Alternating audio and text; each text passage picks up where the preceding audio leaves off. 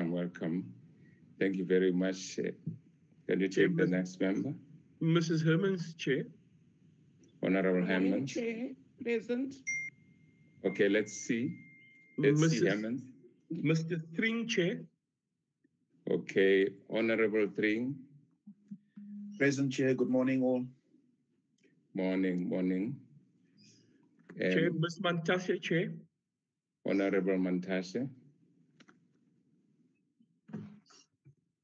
Morning, Chairperson, and good morning to everyone. Okay, thank you very much. Can we take the welcome, Mantashe? Next, Chair, Mr. Mulder, Chair. Honorable Um, Mulder. Good morning, Chair. Good morning to all. Morning, morning, morning, Honorable Mulder. Thank Chair. you, Secretary. Yes, Ms. Mutahum, Chair. Honorable Mutaum. Good morning, Chair, and good morning to everyone. Thank you very much. Welcome, Mutaum. Next member. Chair, we have Mr. Um, Cuthbert struggling to connect, but we'll address that, Chair, as well. Um, Chair, then we have also apologies, Chair, if you want me to do that, or do we look at the agenda first when we to look at apologies, Chair? Yeah, I think obviously let's see who's connected. And then I think uh, for apologies, we can be able to have that as the next part. Because I think we just have to determine our quorum so that we can be able to continue in a representative form. And the apologies side, If I may, Chair, um, yeah, we can, the apologies, Chair, is that Mr. Mumuyani will be joining the committee late, Chair. He's just attending to a family uh, matter, Chair. Um, then Ms. Yaku will not be attending today. She's attending, I think, the Justice Committee meeting, as well as uh, the alternate for the Freedom, Gram Freedom Front, um, the EFF Chair. so, um, and I think, uh, um, um, Mr. McPherson, our also is probably struggling chair, so we'll try to make sure they are connected. But we can proceed. We have a quorum chair, and we can proceed with the meeting chair. So I- I'm sure the members will be actually agree in agreement that we proceed. So obviously, I think we should be able to look at the uh, agenda, uh, Secretariat, if ever we can actually fly that because we are representative. Yeah, Chair, Mr. Cuthbert has- has joined us, Chair. Okay, welcome, uh, Cuthbert. Um, let's actually ch- check on the agenda. Um, we're looking at the adoption. The areas which are covered from now is the update on the implementation of the new legislation. And there's also the issue of the briefing of the Competition Commission Tribunal uh, and the issues relating to investigation and cases. So I think um, there is actually a part uh, where we actually were hoping that we will be taking comments, questions for clarity, uh, which is actually an item just before concluding remarks. So if I can actually just make that addition, that we'll have the presentation. There will be actually uh, members' uh, comments, questions, and engagement which is actually immediately after that, and then we will conclude the meeting. So it's an area between the conclusion and the presentation, the briefing. Okay. So can we actually just make that an amendment uh, or acknowledge that an amendment, uh, Secretariat? Can I put the agenda before the committee? Let's hear if ever the committee is comfortable for us to proceed in the order of the agenda. Honorable members? Chair, Yeah. Chair, Ms. Mantashe, Ms. Ms. Mus- Mawatse, Chairperson, Yes. I move adoption of the agenda. Thank you, Honorable Watts. Uh, move for adoption. M- Mantashe, I propose that we second the, the adoption of this agenda. thank you, Mantashe. Can I just check if ever there's any uh, objection? And if not, can I then actually, I know, um, Secretary, that we do have the DTIC team. Uh, if ever we can actually just uh, Yeah. uh, get the representative who's present. Um, Secretariat? Chair, I think Dr. Pule will lead the delegation, Chair, and he will be able to indicate who is all present, Chair. Good morning, Doctor. Welcome. Can I ask that you just uh, give a brief uh, uh, introduction of your team and then actually take us through the presentation? Welcome, Doctor, and the delegation. Dr. Pule? Thank you, Chairperson, um, and morning to Chairperson and the members of the Portfolio Committee. I'm here on behalf of the DG and the DTIC. Um, in the delegation this morning, Chairperson is the um, the Commissioner of the Competition Commission, the Tembinkosi Bonakele is here, as well as his Deputy Commissioner, Hardin Ratshisusu, I see. The Chief Legal Counsel from the Competition Commission as well, that the Baki is also here. Um, also joining us, uh, Chair, is the Chairperson of the Competition Tribunal, um, Memondo Mazwai. So I will start with the presentation, just giving an overview of where we are in terms of the implementation of the Competition Amendment Act from the perspective of the department, followed by the Commissioner, Tate Bonakele, who will go into a bit more detail in the provisions of the Act from the perspective of the Competition Commission. And then finally, and he will also then touch on, uh, with your indulgence and guidance, Chair, your guide, but he's also ready with the presentation in terms of the status of the implementation of the COVID interventions that were done. Um, and the chairperson of the competition tribunal, similarly, chair, has got a presentation that covers both areas. So the Amendment Act, as well as the uh, COVID update, chair. Um, with your indulgence, chair, I will then proceed to flash share my screen, start the presentation, and then following on to my presentation, I propose that the commissioner proceeds and then the tribunal, and then with the indulgence of the chair, we will then um, be open for questions and matters of clarity. With your indulgence, Chair. Yeah, I think we will do that, Doc. Take all the presentations and then get to that point as you suggest. The floor is yours, Doctor, if you can actually proceed. Uh, thank you, Chair. I trust that Chair can see the presentation. Very well, uh, very well. Thank you. Um, I want to see if I need to um, stop video for myself, just so that the network is not clear. Thank you, Chair. Um, this presentation that I'll give now, Chair, is, is a brief overview of the, some of the highlights that will give the Portfolio Committee an indication in terms of where we are in implementing the provisions of the Competition Amendment Act. Um, various sections of the presentation cover different aspects. Um, we'll just start with a quick sense of background um, and then get into some highlights in terms of the provisions of the Amendment Act and where we are in implementing them. And finally, close off with um, elements relating to institutional readiness of the competition authorities towards implementing these amendment acts. Now, there, there is likely, uh, possibly, chair, members of the portfolio committee to be some overlaps, as my presentation will just give a, a broad overview and a broad sense.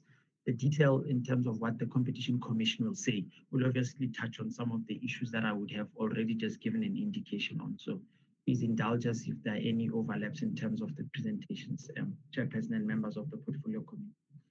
Now, we, we, we are aware, chairperson, members of the portfolio committee, where the history comes from. Um, um, it, it's, it's very well explained um, in, in the presentations that will come later, in the latter part of this meeting. However, we know that this is this was on the back of significant work that was done in government, significant work that was done by Parliament, uh, based on the, the issue of ensuring that um, we open up the economy, deconcentrate the economy, deconcentrate the economy, and ensure that there are greater levels of economic participation.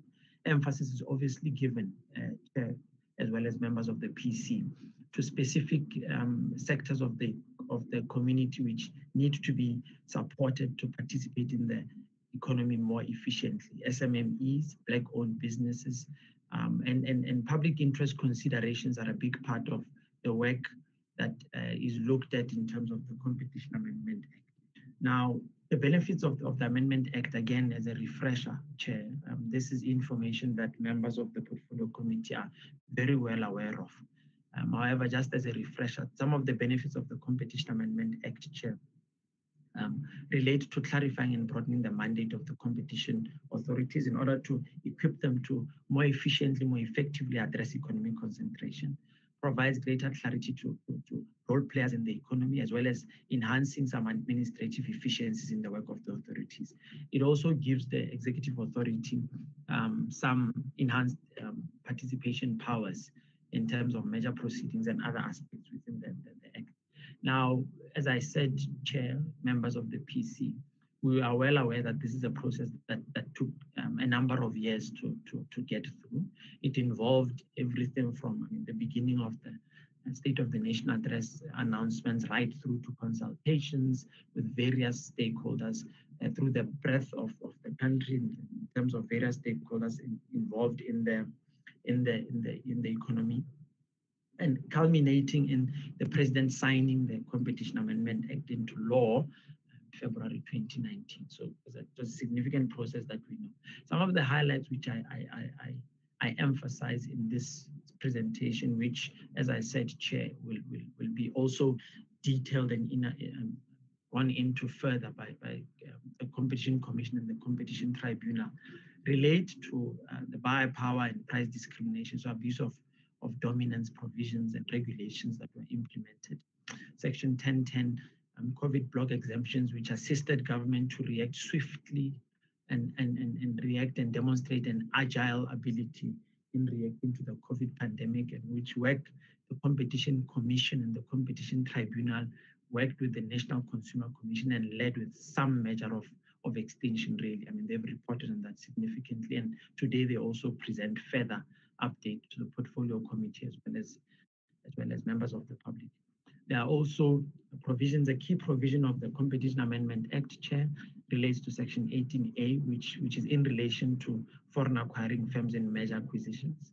Um, so that is a key provision which is also um, to be implemented, the final touch-ups, as well as um, work that is being done now um, in terms of ensuring that the, the, the competition authorities continuously adjust um, on the back of the Amendment Act, but also on the back of other imperatives, continuously adjust to be efficient and effective and ready to, to fulfill their mandate. So this, this presentation will essentially highlight those aspects. There's more, as you'll see in the other presentation, but those are the aspects that will, will be highlighted here. In terms of the abuse of, of, of dominance provisions, the, the buyer power regulations are one which are important. Um, and the minister uh, subsequently gazetted buyer power regulations relating to that, which, which aim really to support fair participation for uh, small, medium, and, and, enterprises, as well as firms owned by historically disadvantaged persons, um, which protects them from, from um, powerful players in the economy from unfairly suppressing prices or imposing certain conditions to exclude them from participating efficiently. The Commission issued guidelines on that um, relating to those buyer power regulations, Chair. Um, as, as, as we know, Chair, um, the Minister will issue regulations. The Commission is empowered by the Act to issue guidelines. So those guidelines were subsequently issued and published on the website of the Competition Commission. Um, similarly, similarly, Chair, members of the Portfolio Committee, price discrimination regulations were also gazetted by the Minister, um, also aiming really to support um, your SMMEs and HDP firms in the economy. These, these are critical, critical um, aspects of the Amendment Act, which I highlight here, Chair, as we know that um, really it is, it's important that uh, we give as much support as possible um, towards ensuring the participation of the smaller, medium enterprises in the economy, um, firms that were that are owned and run by historically disadvantaged persons, also chairperson, members of the PC, required support. And these regulations really are highlighting work that government did and work that government will continue to do to ensure that that support is, is, is practicalized.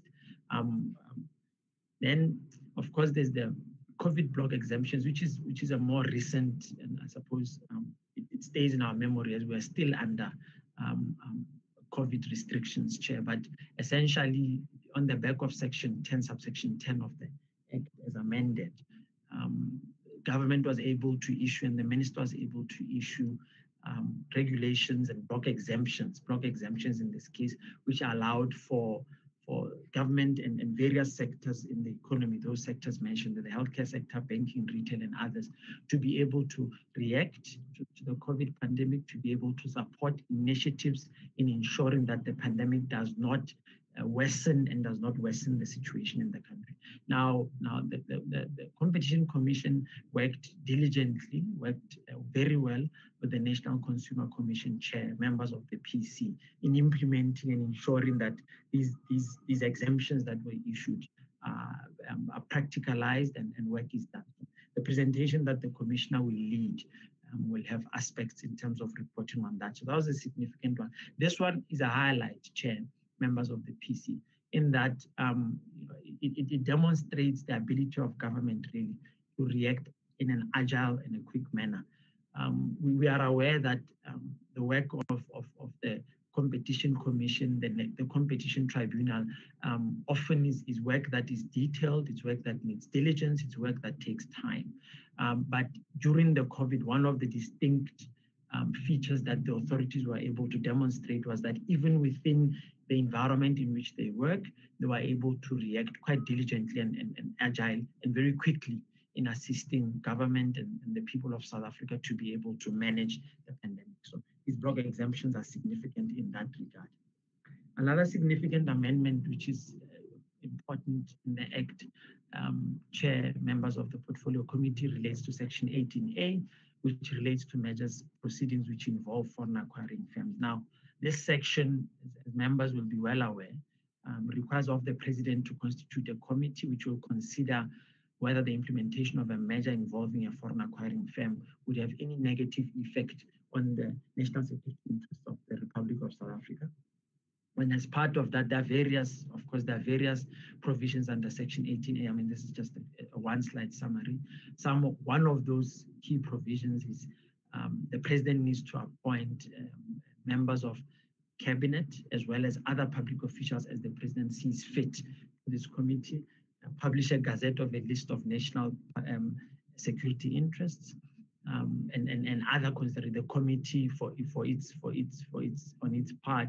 Once it's so constituted has got obligations in terms of ensuring that uh, merger notifications are, are handled within specific time periods um, as well as ensuring that they are then also uh, published in forms of gazettes and the decisions that that committee would then make are published. Now, obviously, um, in order to, to adequately um, implement this, this, section of the Amendment Act, this section of the Act as amended, Chair, members of the PC, it's important that um, the department also puts in place um, technical and secretarial capabilities in order to be able to be the legs and the feet of this committee. This is work that is currently being finalized in the department to ensure how do we structure that technical and secretarial um, uh, structure in the background to support the presidential committee. So it's an important consideration. We are also aware, Chair, that this is these type of provisions have been implemented in various parts of the world. Um, but while this section is, is, is being uh, readied to be promulgated, Chair, obviously um, working with the Competition Commission on the basis of the relevant provisions of the Competition Act. The department does participate in merger um, um, merger notifications as notified by the by the by the Competition Commission from time to time um, on behalf of the of the minister. So so that is work that is that is currently being done. Um, it, we are just about at the tail end of, of, of finalizing the modalities of the technical and secretariat capabilities that would then um, allow for the implementation of this of this section of the act. Another important consideration, Chair, members of the portfolio committee, relates to um, it is one thing, as we well know, Chair, to to have an amendment act with, with, with expanded powers. That that's an achievement um, on its own, um, on the back of of of of, of Parliament's um, support. But of course, it's totally another thing for the competition authorities to be equipped and ready to be able to adequately implement those provisions. Now, institutional readiness really refers to the work that was done within the department to look at um, the competition authorities with regard to um, the expanded mandate given to them by the Competition Amendment Act and to say what impact will those um, amendments have on the financial, human resource system requirements of the authorities, what budgetary challenges is it likely to pose, including um, including the funding model that, that perhaps um, is there a need to look at that again or not, uh, and critically, uh, chair members of the portfolio committee, um, the, the, the work around the institutional readiness of the authorities also looked at, at protocols, internal protocols, uh, particularly particularly with the introduction of 18A to say, um, do we need to tighten our confidentiality um, um, requirements within the department um, in order to make sure that we, we, we, keep up the standard that's already well set. Now, it is important to note, Chair, members of the PC, that confidentiality is a non-negotiable. We know this by law, um, and it is an aspect that the Competition Commission very rightly um, emphasizes and, and, and, and, and, and enforces with great diligence, even in merger participation processes that we as a department participate on on behalf of the minister. So here it was really a matter of how do we tighten given our additional responsibilities as a system. And some of the key findings that came out of our institutional readiness work that was done looked at um, we need to, to look at institutional model and structure for the competition commission that allows it to have readily available a combination of analytical, investigative, litigation skills. This one is on the back of the fact that we have to be conscious of the fact that the, the authorities are, are um, go into um, um, litigation with, with, with, with entities, with companies, with organizations that will bring their, their best foot, they'll, they'll step up with, with their best resources. And therefore, we are obligated as well to ensure that the authorities are adequately equipped to be able to match like for like in terms of skills, in terms of competence, experience, and, and, and, and the, the, expertise that's available. So that is one aspect that we believe um, um, work needs to be done to just look at very closely and, and see where the gaps could be there. Um, the other issue would be around on the assumption that you are unlikely to have all the resources that you need in-house all the time, a model of, of, of establishing some sort of a panel of experts, economists, cyber, IT investigators, which the commission could then have access to, to from time to time based, based on various types of, of, of, of cases that they would then have to deal with. Now we know that this is this, the panel. The panel approach is, is approach that has been implemented in supply chain um, processes, um, you know, where you, you have a ready panel that allows an organization to be able to access skills that might not reside in in-house. As we know, not all specialist skills, you, you need them all the time. So it might not be cost-benefit analysis to your advantage to have them in-house. You might, you might want to just have access to. As I said, confidentiality is an important consideration, which is treated really, Chairperson, it's, it's one of those that we, we simply cannot overemphasize. It's sacrosanct.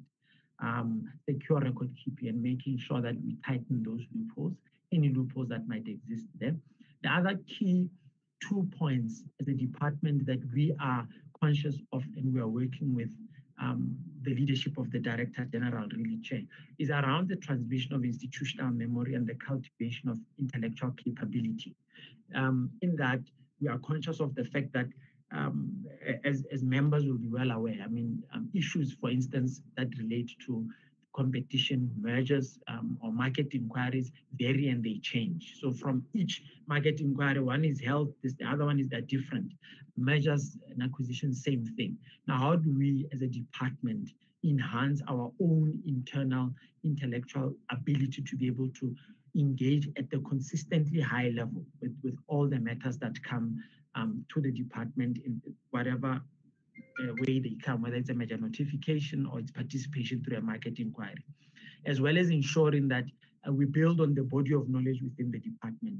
Um, so internally, we have protocols currently, which we are constantly looking at improving in terms of ensuring that we we, we maintain adequate standards and we ensure that we build our internal capacity in the department critically minding that um, in the in the competition act it is the minister who has responsibilities not the department and therefore the work that we do we are doing really to advise the minister and therefore we have to make sure that the standards are met so that's an important part um, chairperson and members of the pc that as a department the DG is quite um, insistent on us continuously working on. That, is also one of the key recommendations that the institutional readiness report advised us to keep an eye on.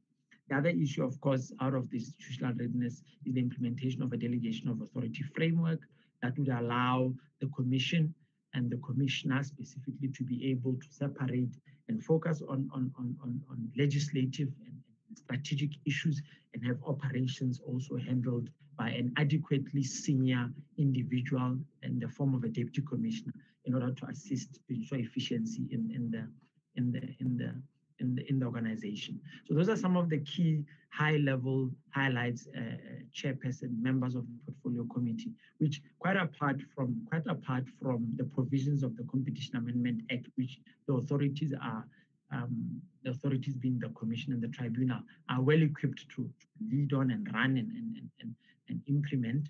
Um, the department is, is also mandated, obviously, because of our oversight responsibility, chair, members of the PC, to also ensure that those organizations are adequately uh, positioned in terms of skills, in terms of structure, in terms of funding as well, which is an important part.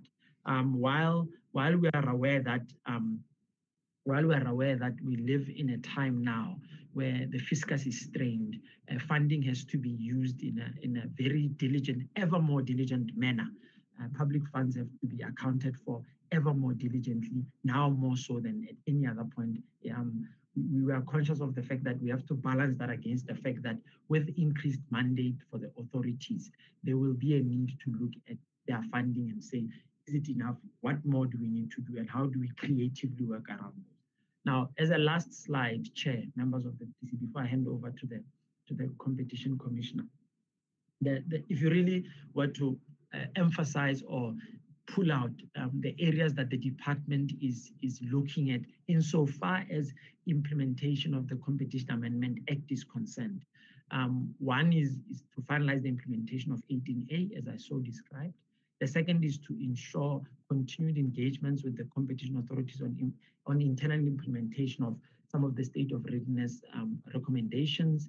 Um, I say continued because we know, for instance, that there's already a deputy commissioner acting who, who's, who's, who's, who's, assisting, um, apart from the, the, the, permanent deputy commissioner, but there are there are two other deputy commissioners. So there are already engagement in terms of, of taking the recommendations of the state of readiness report uh, institutionally and then implementing them within. The delegation of authority um, framework is also work that is currently in process of being finalized.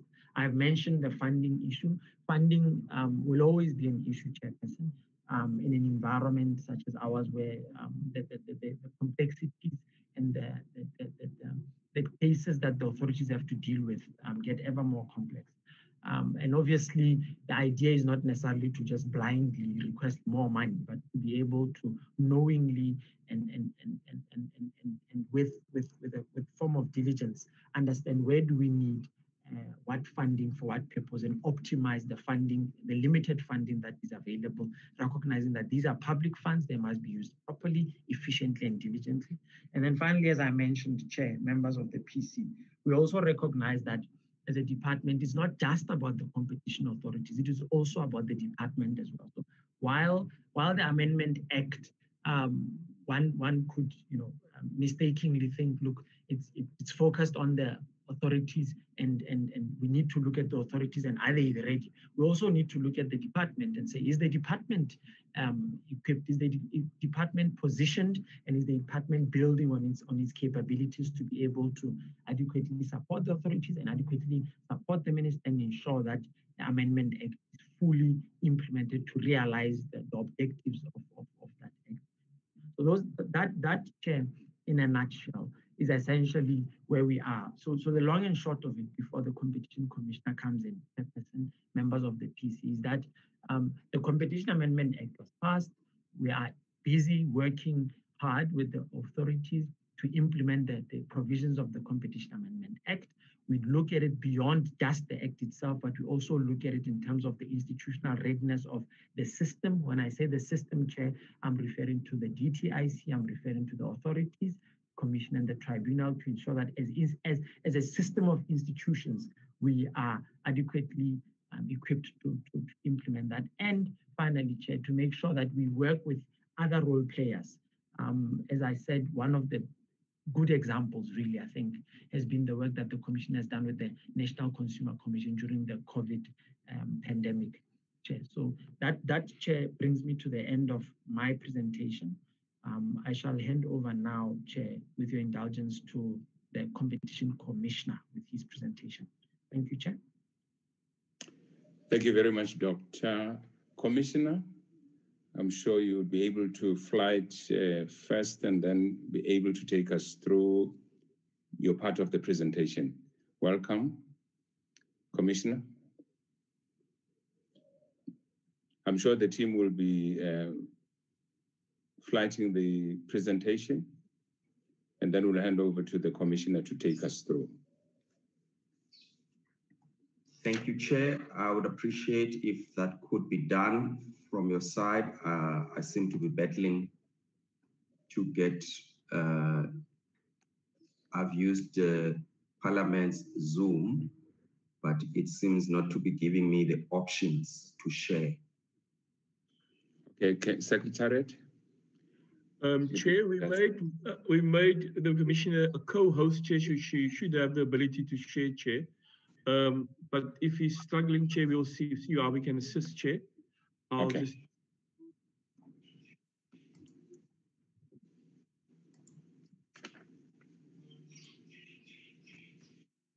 Uh, just ask Margot to if she can't share the document for us, chair.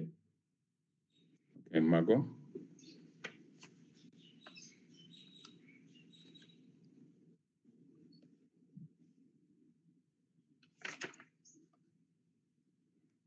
Okay, Commissioner, it looks like it's being projected. Can you see that? Uh, yes, Chair. I'm just trying to make sure that I've got the right size. I have it, Chair. Uh, uh, thank you very much. Thank you. For now, it it now allows me to share mine. So I, I, I will do that quickly if you don't mind. It will be best if the commissioner shared. Yeah. I, I, I am sharing now, so I, I have it. Uh, I trust you have it, Chair. Okay, yes, I can see that. You know that when you're talking about sharing and other things, it's not English because we don't know what you're doing. But we see there's in, every, something going off and on the screen. But Th- I- thank you. Floor is Uh, yours, Commissioner. Thanks very much. I, I appreciate it. Um, uh, Chair, uh, and uh, I will try in my presentation. I have two presentations, which is quite uh, uh, tricky. Um, I will try to avoid duplication. So I um, will just mention that uh, my colleagues, uh, the, the, the DDG, uh, um, as well as the chair of the tribunal, I've had the benefit of seeing their slides. So where there are duplications with my presentation, uh, I'll just skip those, but I, I, I'll, I'll, I'll inform the members when I do so. It is just to save time. And Thank we, uh, uh, as you uh, would uh, all be aware, the Competition Act, as we have it, came into effect in uh, 1999. Uh, but in uh, February uh, 2019, the Competition Amendment Act was signed into law by President Ramaphosa, and soon after that, uh, it came into effect in July, uh, to be uh, specific. Um, these amendments were quite were quite major and took place within the backdrop of what I would term a, a fairly successful uh, competition regulation over the past uh, 20 years, uh, especially in the area of cartel enforcement. We've seen major cartels in areas such as cement, uh, construction, uh, steel, uh, food, levying fines in, in, in excess of uh, 7 billion uh, and sometimes establishing funds to support firms in some of the affected uh, markets. Besides the success in, in cartel enforcement, the competition authorities uh, and uh, courts um, have not been as successful in reining in abuse of dominance by uh, uh, monopolies. This is where you have a single firm conduct. You need no cartel. The power of that firm allows it to control uh, markets. Uh, those were, have been quite quite uh, tricky in, in many assessments that have been done on the work of the commission. Indeed, the commission itself did a, a, a study in 2018 uh, which uh, confirmed that uh, the markets in South Africa were, were highly concentrated. and, and this was confirmed by, by the World Bank. In fact, the World Bank was the first to do this in, in, in 2016. Um, and virtually almost everybody you can talk to about the South African economy, uh, whether it is the OECD, um, if you like, uh, the, the, the, the, institutions uh, that would not typically uh, uh, Uh, uh, favor interventions in markets have all raised uh, some problems on how this economy is working, particularly from a concentration point of view. Because you'll recall that concentration, once you have these dominant firms, they impose cost into the economy. So they are likely to reduce the dynamism of the economy and have a negative impact on growth. So that is why everybody is concerned about that. So the amendments seek to address the, the, the, the, the concentration uh, as well as barriers to entry in, in markets by enhancing the mandate of the competition authorities. In slide five, I go into the detail of uh, uh, the objectives of these amendments, uh, but DDG uh, uh, Molefe Pule has already spoken at length about this, so I'll skip slide uh, five and six. Um, and uh, you will see in the substantive provisions that uh, these amendments touch in almost all areas of the competition functions. So let me start now with uh, one of the areas, the area of cartels on slide nine.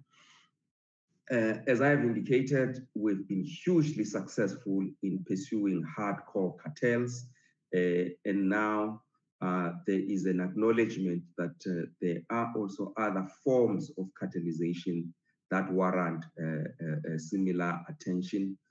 so the, the, there has been a provision in the in the uh, uh, Competition Act, Section 41A, uh, which made created a, a prohibition or a, a, an offense in terms of the Competition Act without a penalty.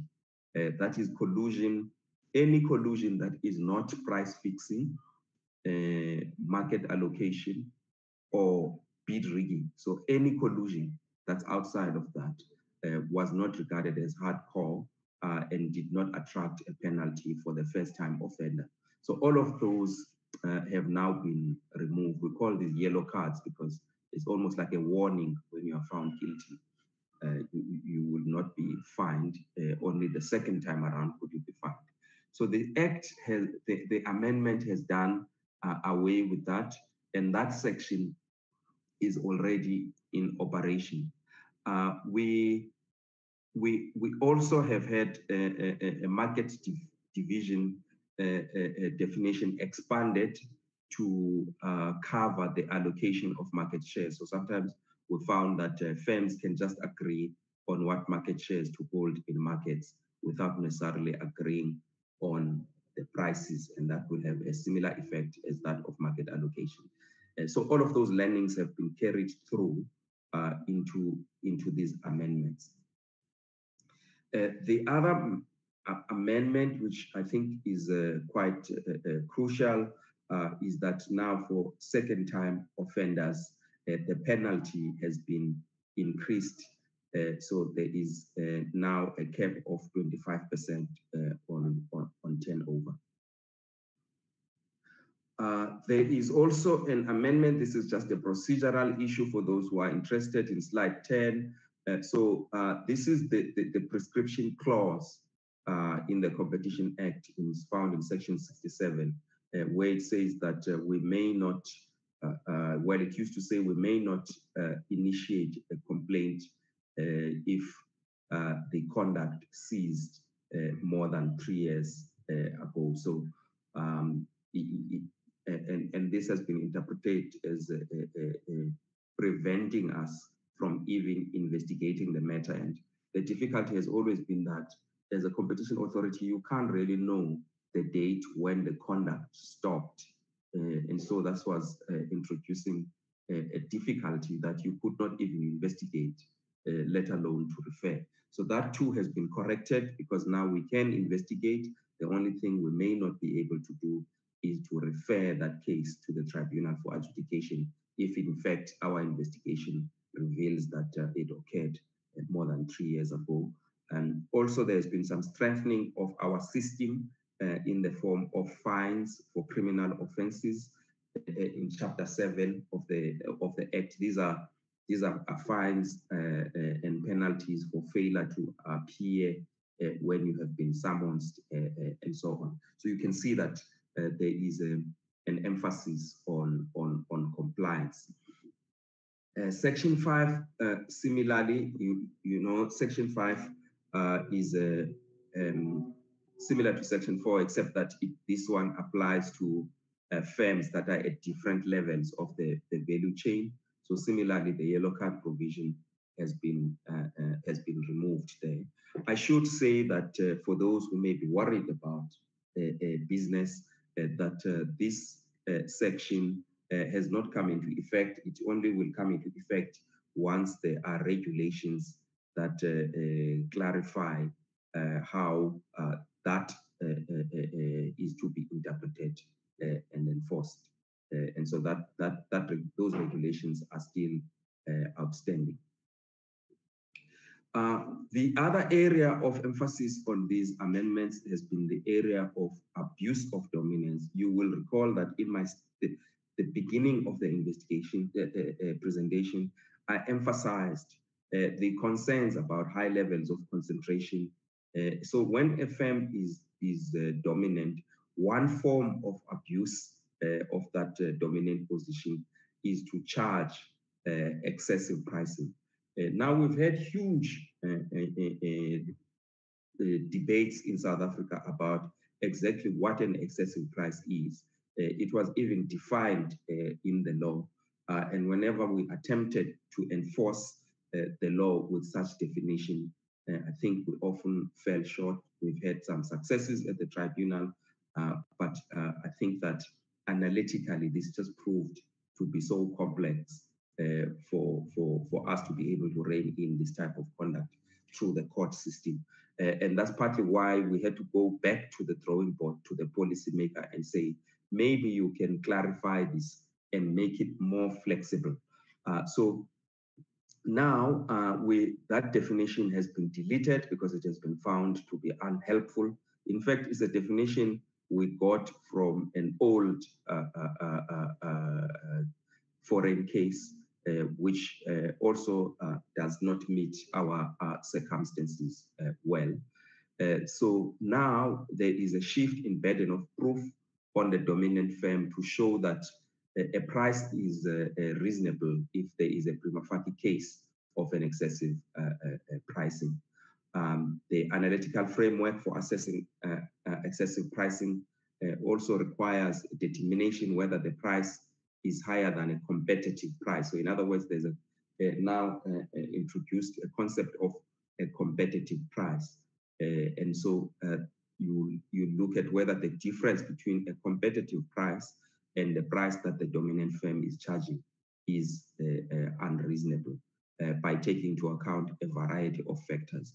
That leaves a, a quite a, a, a, wide scope uh, for, for doing this. For an example, uh, those list of factors uh, are non-exhaustive, but they are helpful. For an example, they, they, they, they do guide us that we now can look at the prices in similar markets elsewhere in the world, uh, we now can also look at a, a, a, a rate of uh, return. Uh, we, we, so, so there's a combination of factors we could now look at to arrive at whether whether a price is excessive uh, uh, or not, rather than having a static uh, definition. So we think that is going to be helpful. we have not had this tested in law. Interestingly, the the the the, the now test for an excessive price is in the context of price gouging during um, during a, a, national disaster. And we'll talk a little bit about that when we talk about the COVID uh, cases. The other area which has been uh, uh, strengthened is that of uh, exclusionary conduct, again, where dominant firms exclude uh, other firms from participating in the market. Uh, there has been a yellow card provision here as well, where some of the conduct could not attract a penalty for first time offenders. All of that has now also been removed. In other words, all conduct that is deemed uh, to be a contravention uh, in the sense of exclusionary conduct can now attract a penalty.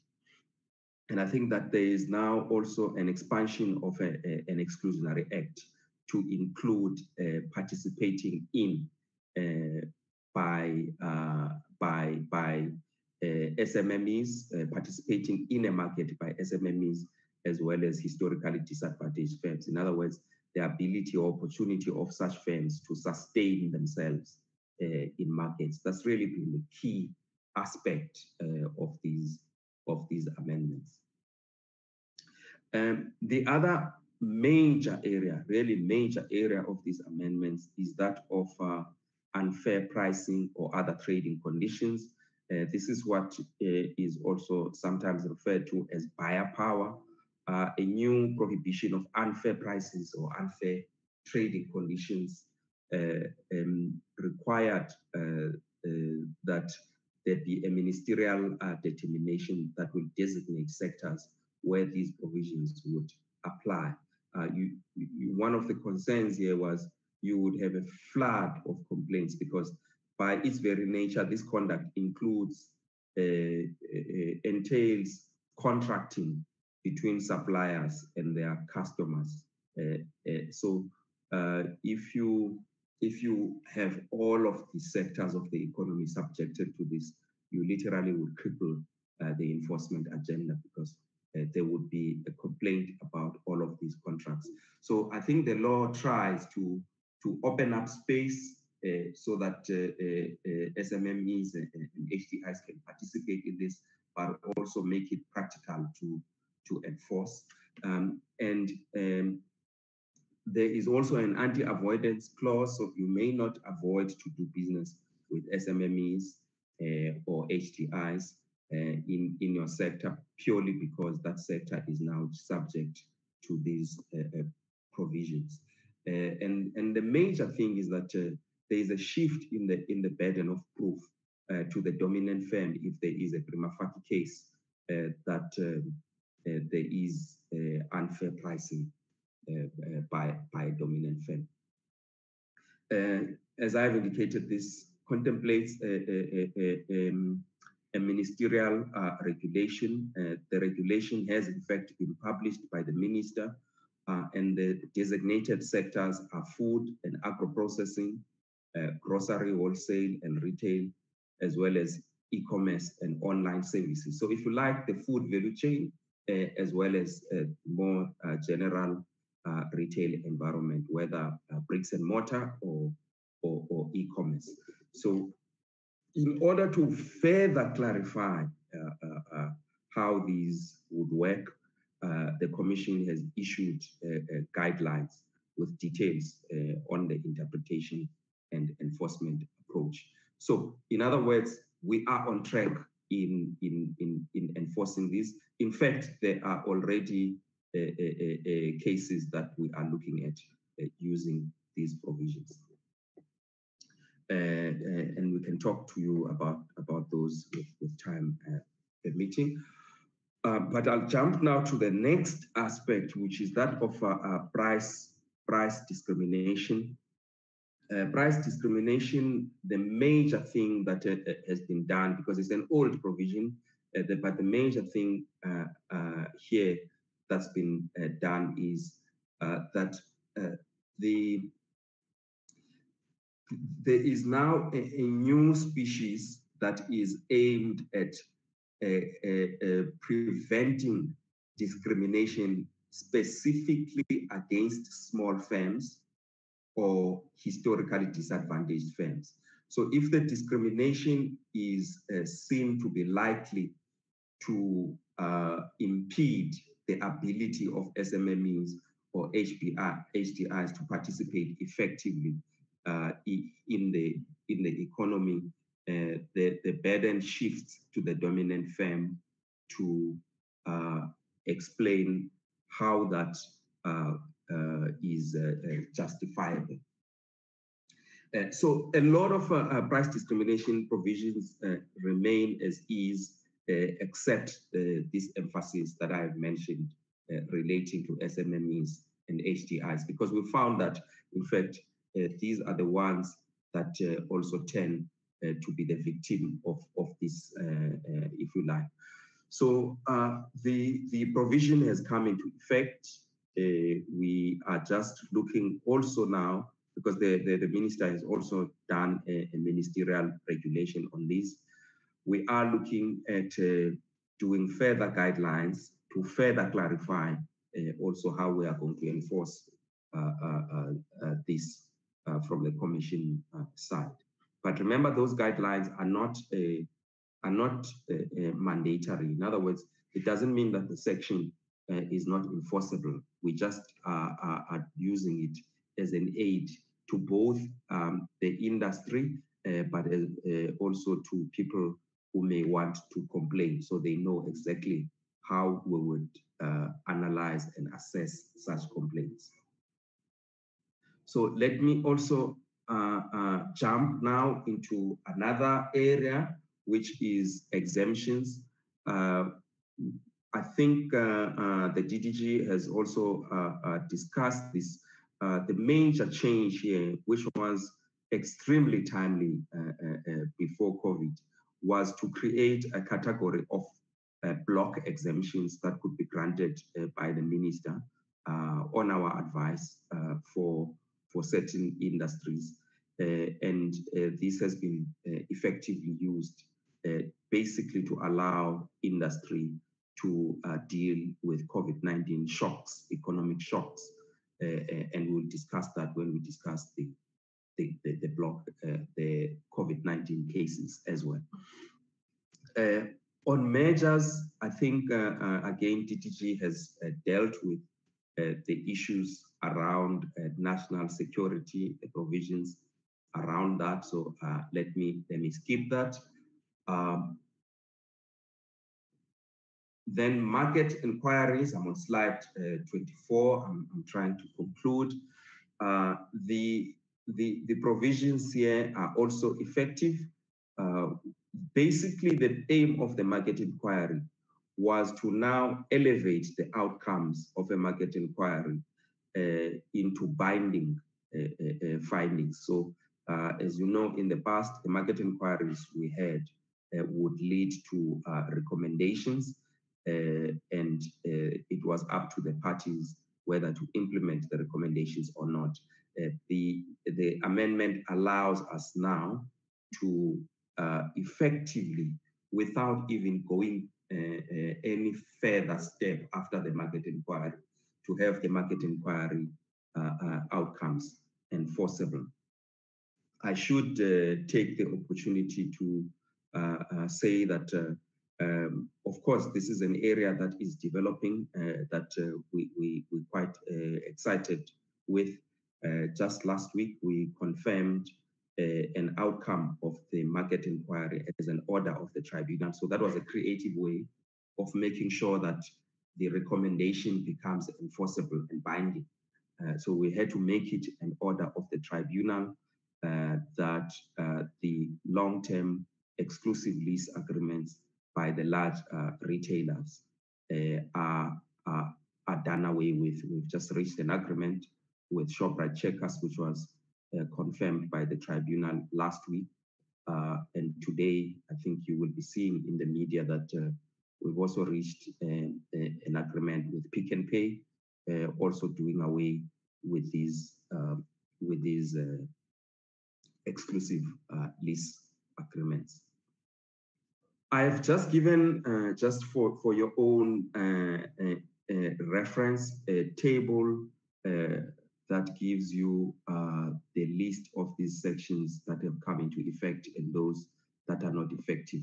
But basically, they are all in line with what uh, we've discussed. Uh, I think this next slide would have discussed the impact of these on the operations uh, and resources of the commission. I think DDG has done a, a, a good job uh, on this, so I also will not take any more any more time.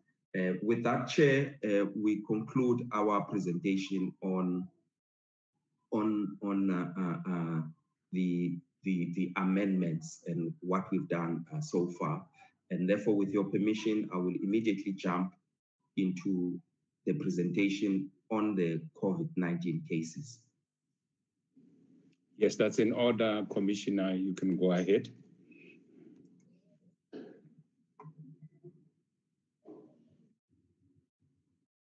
Thank you very much, Chair. I'm, I'm just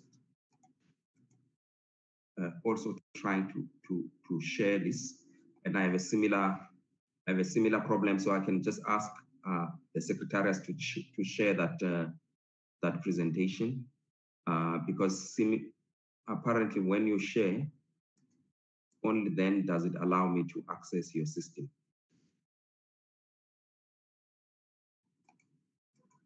Secretariat. Chair we'll ask Margaret to share the doc if she can. Okay.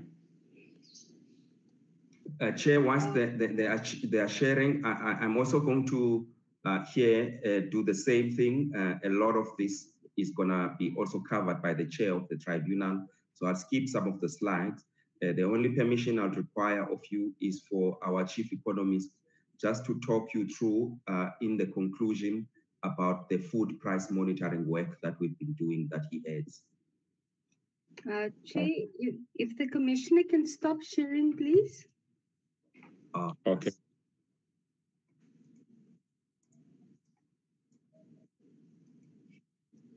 I'm sure Commissioner had that.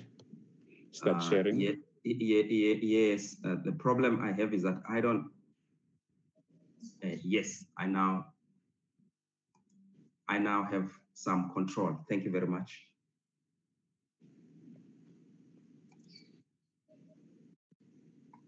I sh you should now be seeing my latest yes. slide. Thank yeah. you very much. Um, yeah. I, I will uh, jump some of the things that I've already said uh, and um, and go straight to the work uh, that uh, we've been doing. Um, so the first thing that uh, uh, I'll talk about is um, the regulations. so the DDG has already mentioned that immediately we had this national disaster, there were regulations that were that were propagated uh, by the minister that uh, prohibit uh, dominant firms from charging excessive prices uh, for certain goods, and there were specified goods and services.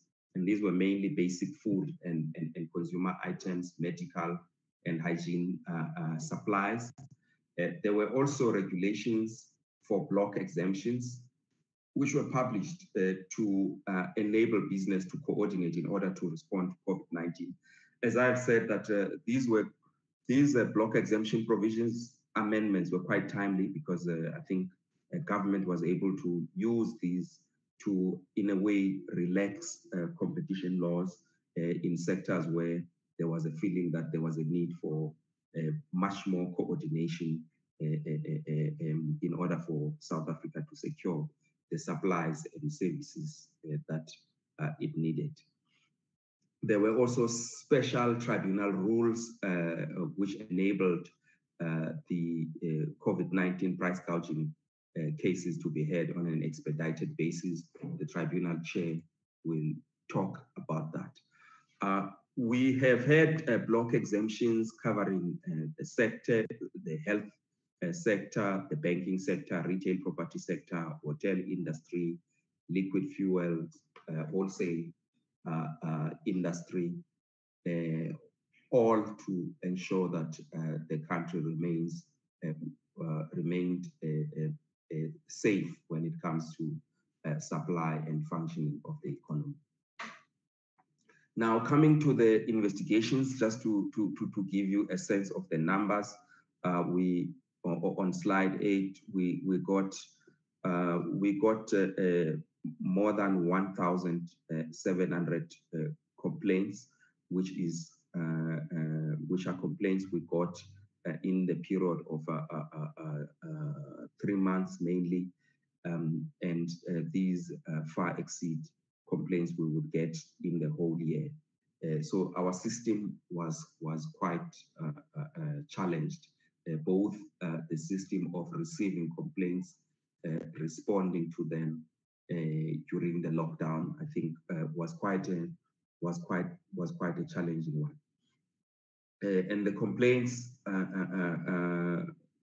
related to the items that I've mentioned, things like masks, protective gear, as well as uh, certain uh, food items. We decided to pursue these investigations as Section 8 contraventions. We've discussed Section 8 uh, previously, which is a prohibition of excessive pricing by, by dominant firms. and uh, the minister, in terms of these regulations, uh, made provisions on how an excessive price in the context of price gouging during a, a, national disaster should be evaluated. And I think the chair of the tribunal will also talk about, about this. Uh, the, the, uh, just to emphasize that uh, these provisions only apply because they are abuse of dominance, they only apply to uh, dominant firms, uh, and there is a threshold for dominance. Uh, so any firm um, that is accused of dominance must have a turnover of 5 million and be in possession of market power. So if you like, that's a jurisdictional requirement. So a small spaza shop uh, somewhere cannot be accused of dominance if it doesn't meet uh, the threshold of a 5 million uh, turnover. This is why, Chair, I should mention upfront that uh, there should be no expectation that we are going to be able to investigate everybody who might have been abusing uh, this period of time because the law doesn't allow us to to investigate uh, uh, uh, uh, micro enterprises that have a turnover below 5 million. The excessive pricing uh, uh, investigations were from all provinces, with Gauteng being the, the, the, the leading province in terms of complaints. but it just shows you that we got complaints uh, from virtually everywhere, with Gauteng leading followed by by by uh, uh, uh KZN, and that followed by by the Western Cape. We also uh, have categorized these products. I've already mentioned them, which categories are.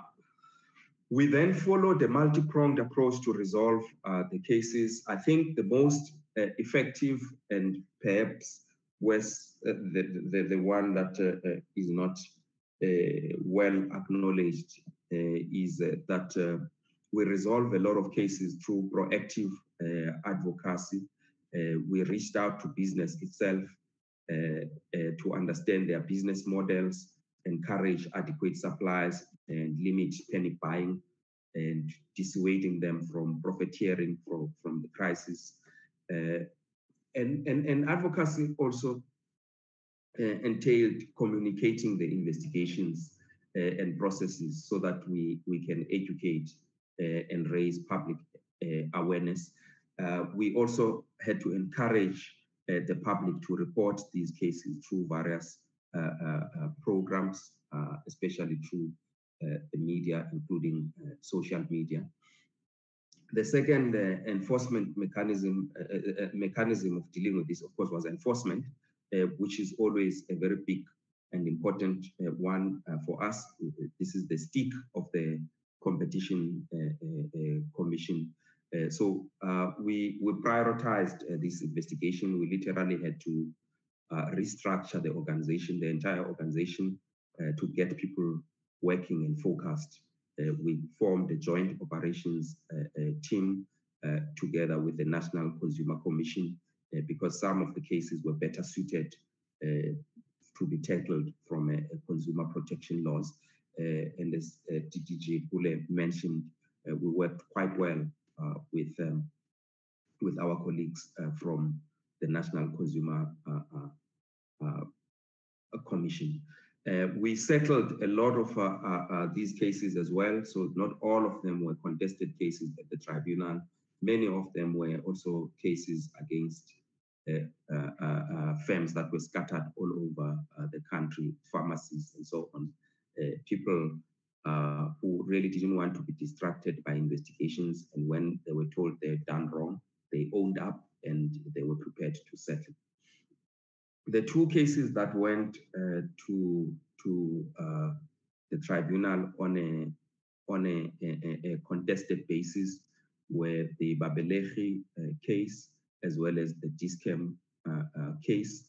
Uh, those cases were were quite um, difficult for us, but at the same time, were were, were having facts that we thought were very were very strong um, because the price increases and the price margins were quite high. For example, in Babelegi, we saw price increases of uh, uh, facial masks from uh, about 40 rands per box.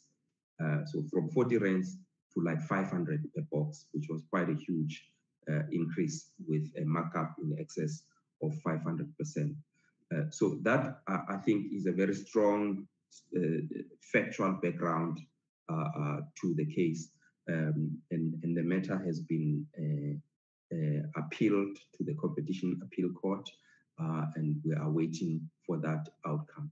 I should mention that that outcome is going to be quite important for all other cases that we are pursuing uh, in this space. It's going to be a precedent-setting uh, case, and we're all crossing our fingers uh, about where the court will land up. The Dis-Chem case uh, was uh, uh, also another interesting one, but Dis-Chem withdrew withdrew its appeal uh, here. So I think the case we're looking forward to is Babelegi. Uh, the the outcome of uh, um, these completed investigations as I, have achieved has been a lot of settlements.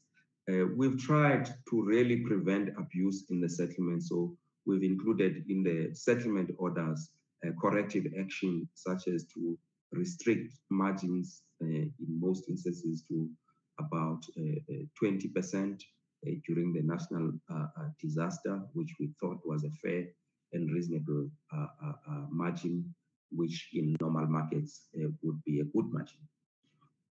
We also included penalties or donation that bear some relationship to the excess profits that were earned uh, so the donations were to charity organizations, old age homes, as well as the, the, the Solidarity Fund.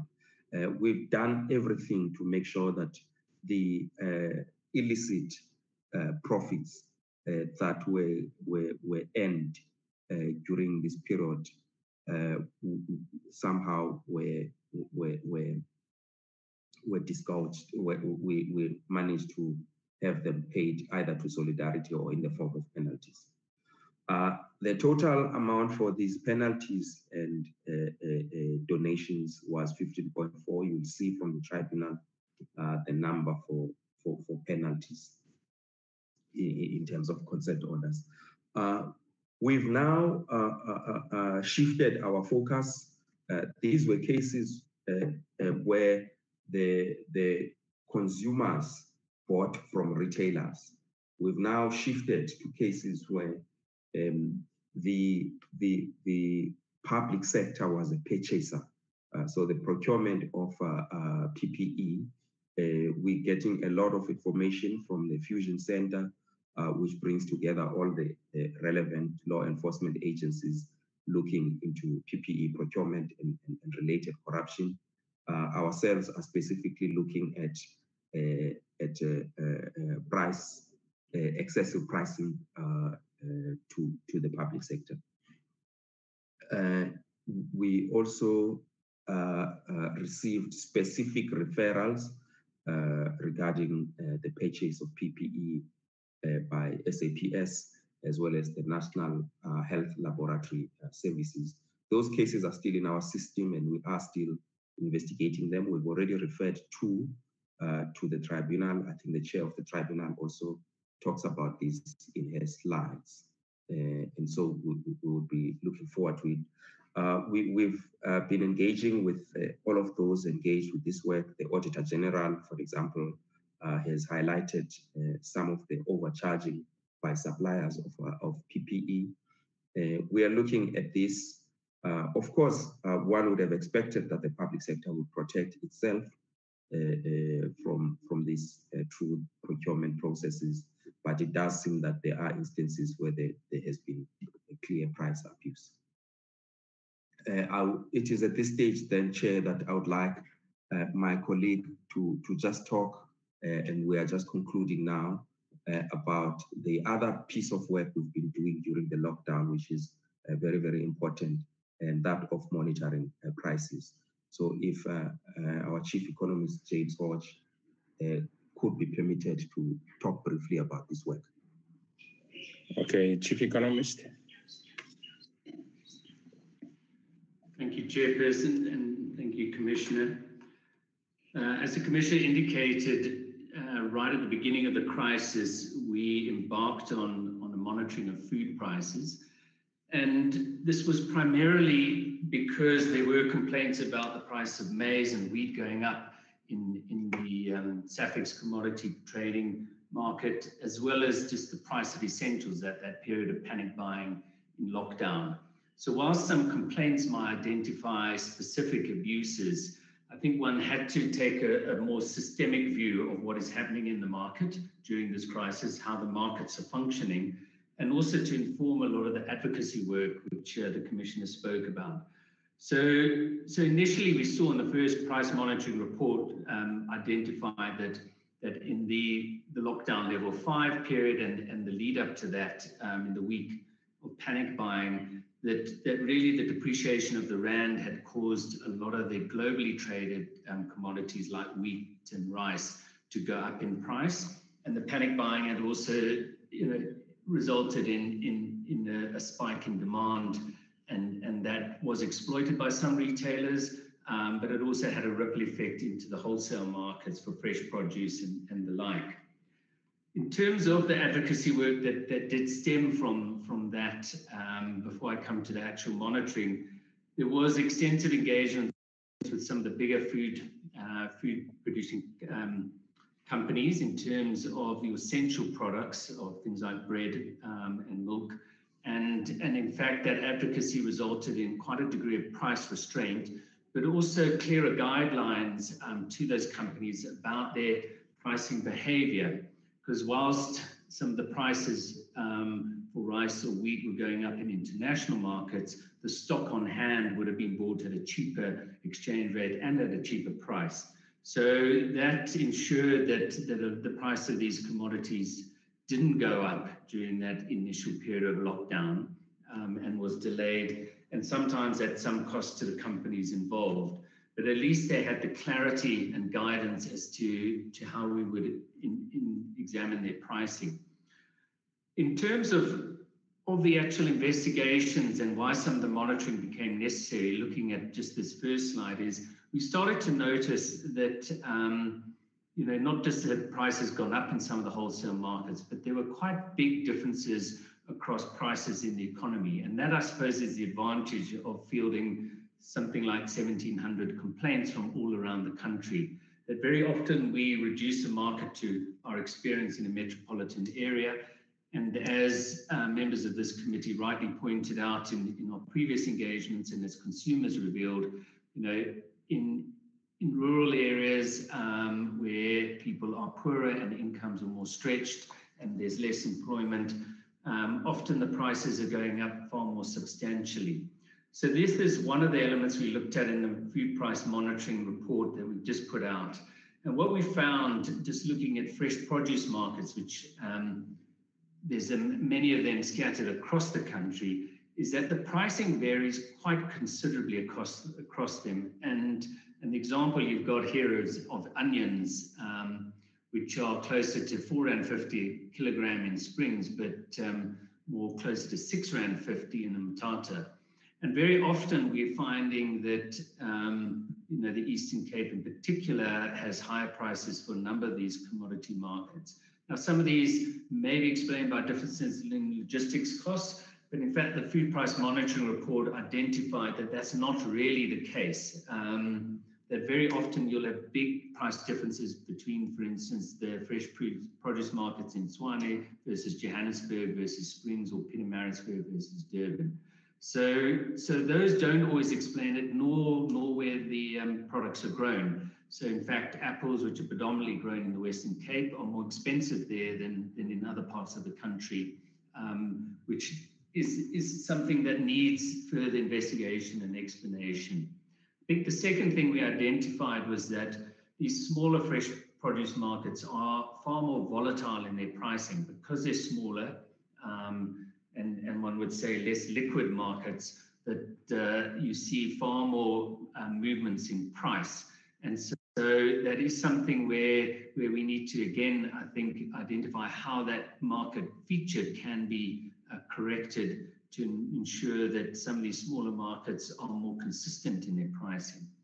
The other thing we've looked at, which is the slide before you, is the spread between the wholesale price and the retail price very early on in, in the process, farmers complained that in fact prices started going down in their wholesale, wholesale markets for fresh produce, but they weren't seeing this on the shelf.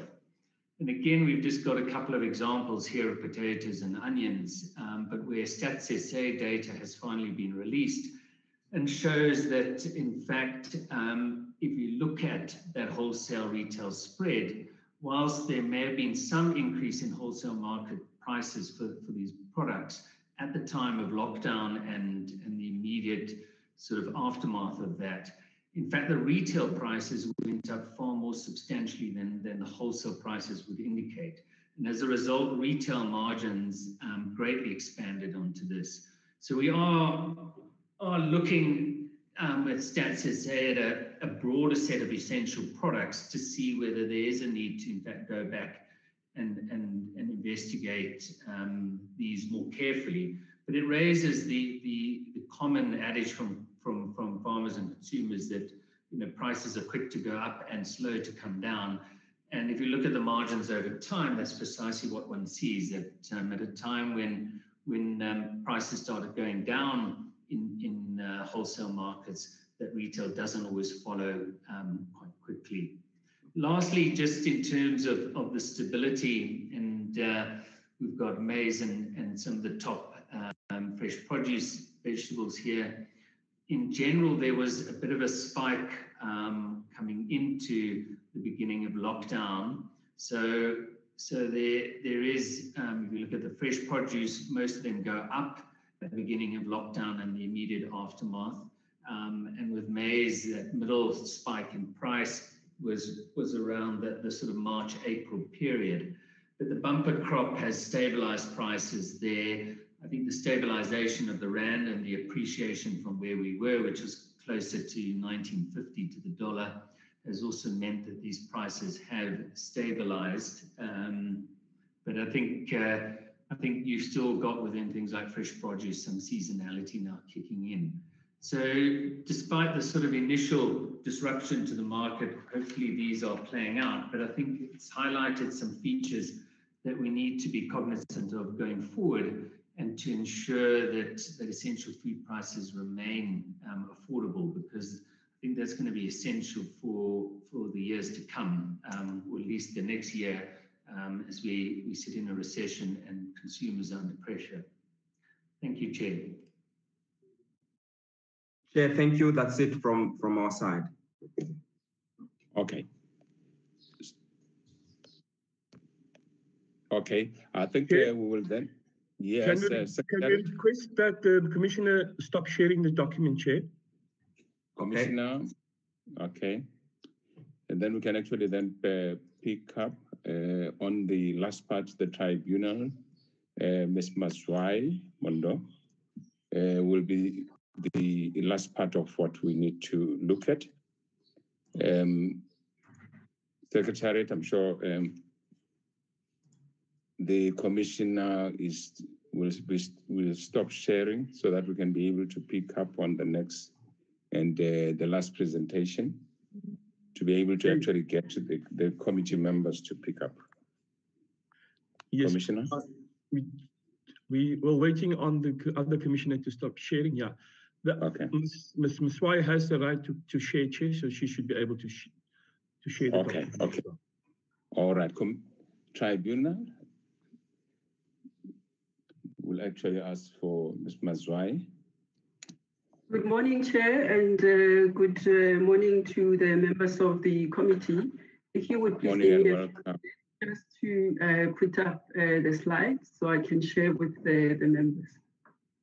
Okay. Thank you, welcome.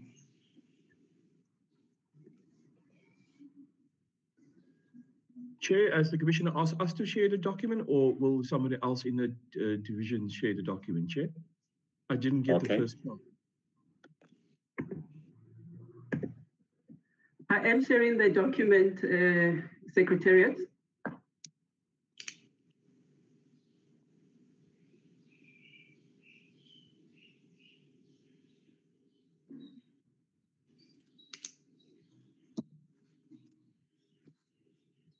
Okay, Secretariat.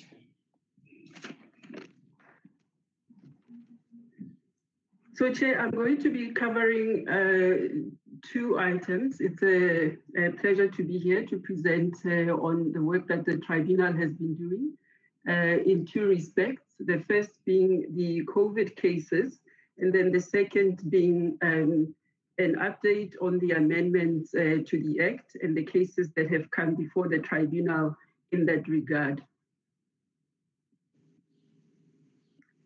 I'll start by talking about uh, the national response to the COVID 19 uh, pandemic.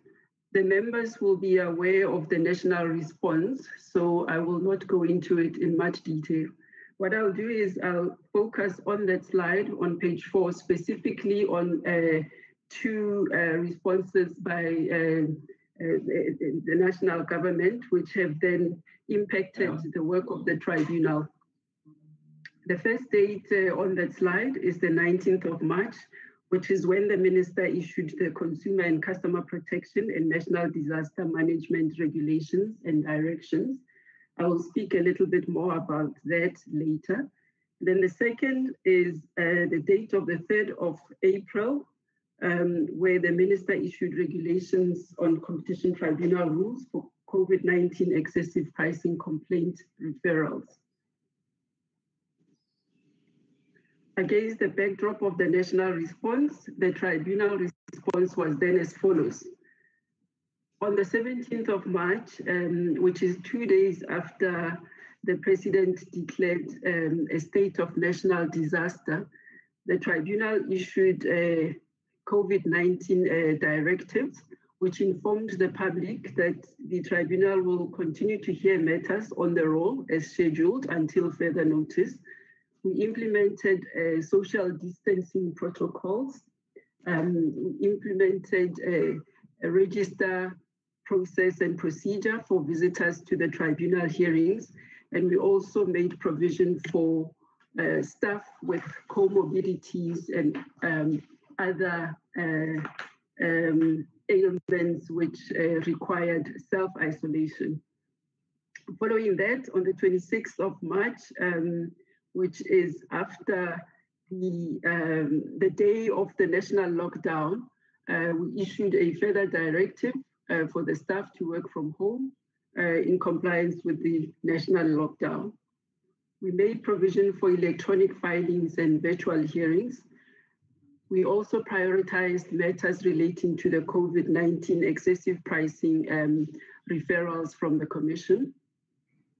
Opposed uh, mergers, uh, which we regard as complex uh, mergers, were not placed on the roll, and this is because these are cases that usually require the hearing of oral evidence with witnesses in the box, um, where uh, evidence is led by the witnesses rather than uh, arguments being made on the papers, and therefore those matters were shelved.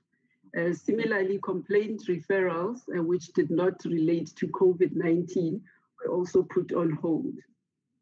Then on the 6th of April, we issued uh, further directives. This is the uh, 6th of April was three days after the minister had issued uh, regulations about procedures in respect of the COVID cases. We then um, quickly issued directives to deal with um, uh, the time periods for the filing, and we truncated uh, the process of hearing these cases. It has been said, I think, by the commissioner that in general, some of these cases can take a long time, particularly excessive pricing cases. Uh, to date, uh, there had been only two cases that were prosecuted, being the Sasol and ArcelorMittal matters, um, which took years um, before the tribunal and eventually before uh, the, the, the, higher courts. This uh, process of truncating the hearing entails the tribunal undertaking to complete these uh, hearings within a period of 7 to 14 days, depending on the circumstances, but also dealing with consent orders uh, that um, uh, would come before us within a period of 24 to 48 hours. On the 9th of June, when we went into level three lockdown, we made provision for matters to start being heard on site, although in reality we haven't uh, uh, had them on site because we have continued to work uh, well through teams uh, virtually. Complaint referrals that were also removed from the roll have now been put uh, back uh, on the roll with provision to be heard in the office with the limited arrangements that we have in terms of social distancing and the necessary protocols. Turning then to um, the tribunal's uh, work in this period, we um, looked at the period March to September, March being when uh, the lockdown commenced. Um, and in the six months of uh, the year, just on the COVID cases and lockdown period, we've had 87 matters. And we've just done a comparison with the work that was done in a similar period last year and um, in that time, uh, there were 68 cases that the tribunal had heard uh, in that period. What we have uh, discerned from the information that we have is clearly that merger activity has uh, dropped due to the economic downturn. And what we have seen instead is an increase in uh, complaint uh, proceedings, particularly those relating to the COVID 19 excessive pricing complaint. This is then borne out by the numbers which are on that slide on page six. You'll see in the period March to September 2020, um, we had 52 consent orders compared to the period prior where we had uh, 14 consent orders. We, in the period uh, 2020, we, uh, March to September 2020, we had uh, 32 large mergers, whereas in the prior period in 2019, we had 49 mergers. It's consistent with the drop in the large mergers that I referred to earlier. No changes in respect of intermediate mergers. And in respect of uh, this year, uh, obviously there is uh, the COVID-19 excessive pricing cases, which would not uh, be there last year because that wasn't uh, relevant. Moving then to the next slide, it's just a pictorial indication of uh, the work that has occupied the tribunal uh, in the six month period, uh, March to September. And you will see that 45% of the work has been COVID related cases, um, and 55% has been the other work that the tribunal does on a regular basis. So I think 45% is quite a, a, a, a big number and, uh, and indicates that uh, the COVID uh, cases have really uh, kept the tribunal uh, very busy. In terms of the cases that we have heard, the products involved um, included face masks, hand sanitizers, um, eggs, uh, fresh ginger, and maize. And these are all items that, in terms of the regulations issued by the minister, were identified as essential goods necessary uh, for for, for, for, combating the, the, the, the, pandemic. And then the firms involved in, in these excessive pricing uh, violations included uh, pharmacies, both uh, local and, and, and, and those with a national presence. They included hardware stores, wholesalers, as well as food retailers. And then just some interesting information about where most of the cases have come from. Uh, the numbers are indicated there um, in the third bullet point, and that uh, the numbers are consistent with where economic activity mostly lies, with Gauteng having the most number of cases and Limpopo uh, um, uh, the least, together with Northern Cape and Mpumalanga.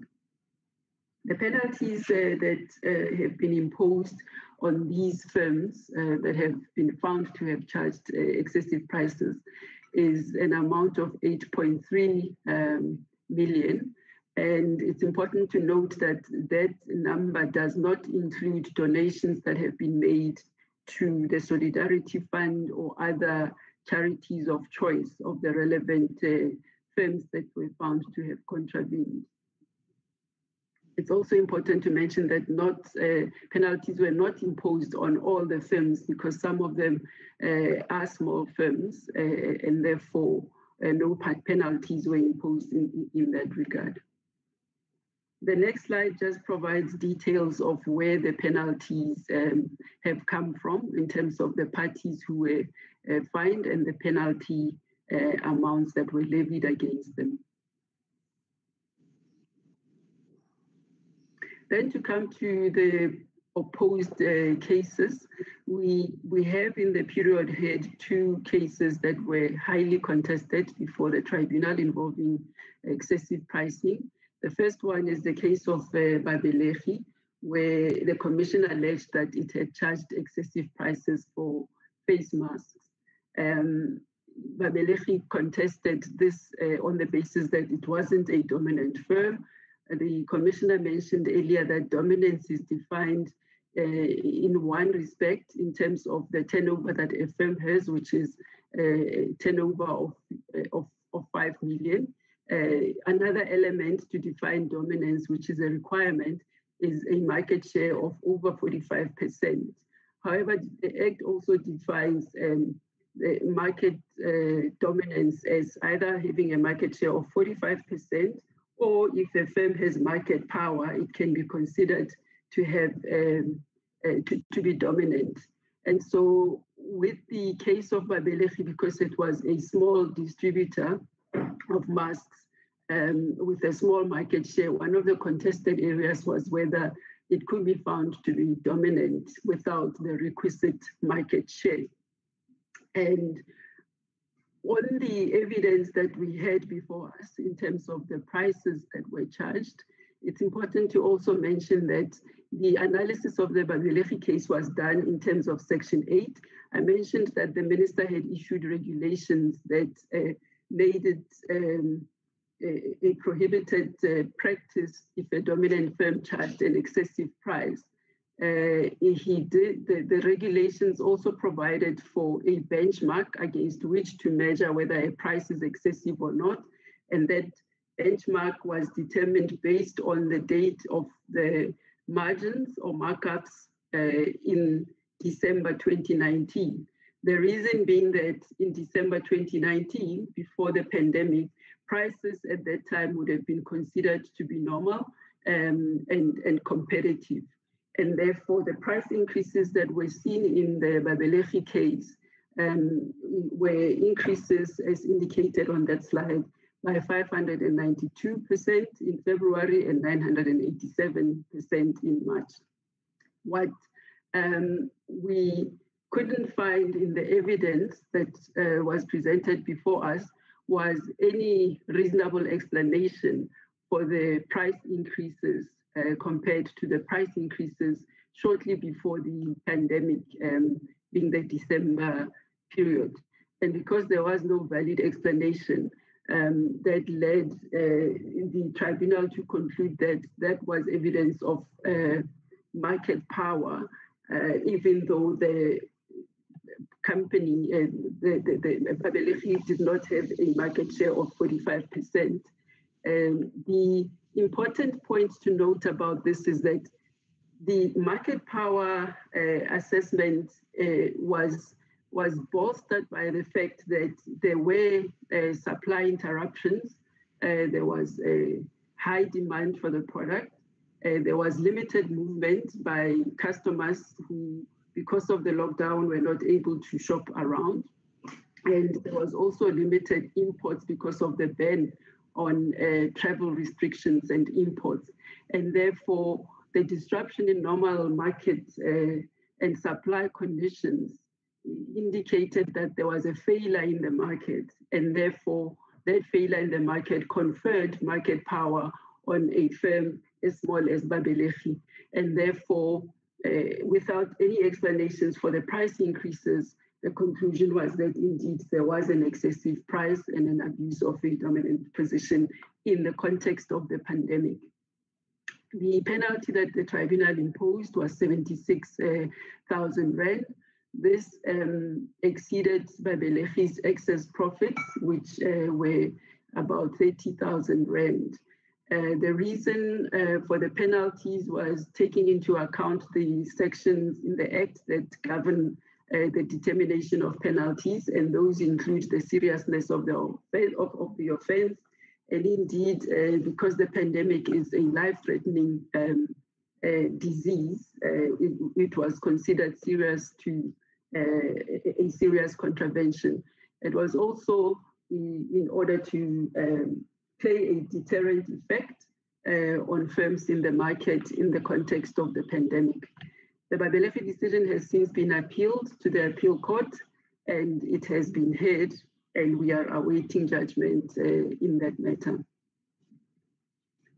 The second case was then the Dis-Chem case, um, also involving uh, an allegation of excessive pricing for surgical masks.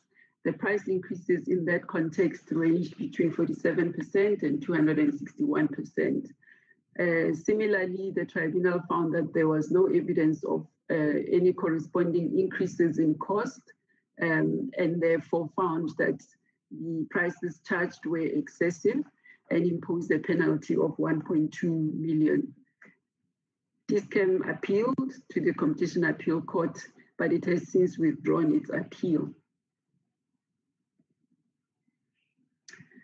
Then to turn to cases that are still pending on, on, on, on, on COVID-19 complaints, we have two uh, which the Commission has referred. One is against a, a company called Blue Collar Occupational Health, uh, and the second one is against Tsumani Business Enterprises. These cases are different to the Babelegi and Dis-Chem uh, excessive pricing complaints in that the um, price uh, increases and the, the effect of the excessive pricing was not on the consumers directly. In these two instances, the price increase is to the state um, because both of the cases involve tenders that were issued by the South African police. The matters are still pending currently and will be heard uh, in due course once pleadings have closed and the matters are ready for for hearing, so we can't speak much about them at this point. Then if I can turn to the Amendment Act, um, the DDG and the Commissioner have covered the reasons for the amendments, um, which came into effect on the, 20, on the 12th of July 2019. But in essence, the um, amendments were intended to address the high levels of con- concentration and the lack of diversity in the economy, as well as to address a spread of ownership uh, that was found to be lacking in the economy, and to deal with barriers to entry and encourage broader participation in the economy. What I'm going to do is to then turn to some of the cases that have, uh, since the amendment came into effect in 2019, come before us, uh, which touch on some of the amendments to the Act. I'll do that by looking at mergers and then I'll look at prohibited practices later. On the mergers side, uh, we are required in terms of the Act to protect the public interest. And when we are deciding a merger, some of the considerations we have to take into account are saving jobs uh, and promoting and promoting worker participation um, and the public interest of particularly historically disadvantaged individuals. We also are required to look at uh, small businesses and ensuring that they're able to participate in the economy, um, while also looking at foreign direct investment and ensuring that um, the, the, the, the, foreign direct investment is, is, is, is still, markets are conducive to attract foreign direct investment, looking at saving businesses and also tackling barriers to entry. Then the, the next uh, three slides speak to the cases that have come before us, specifically on saving jobs. Um, there are about 10 examples of these cases in the next three slides, so I won't go into each one of them. It's safe to say that in the 10 cases that are indicated there, uh, significant job savings were made uh, by um, imposing conditions on the mergers, most of them being by agreement uh, by the merging parties uh, to, to, to the moratorium on retrenchment. This is the next slide indicating the cases on, on, on, on job savings. And this is the last slide. It's about 10 cases, uh, just as examples of, of, of such cases. Then turning to the aspect of the amendments that deals with protecting worker participation um, and in the interest of historically disadvantaged individuals. We had one case, uh, Simba and Pioneer. Simba uh, is owned by PepsiCo, a US uh, company that sought to buy Pioneer Food. One of the elements of the amendments, which is a new provision in the Act, is a provision that uh, requires the tribunal to look at the levels of ownership by workers in the firms that are merging before the tribunal. And this is the first case in which the levels of ownership of the workers uh, was uh, before the tribunal for decision. The issue was whether the merger would result in a dilution in the levels of uh, ownership by, by, by workers and uh, more broadly by historically disadvantaged uh, individuals. The uh, emerging parties agreed to a, an ownership scheme which would ensure that the uh, workers would have a, a, would be beneficiaries of, of, of, the trust and that they would continue to be uh, owners of um, shares in the um, merged entity.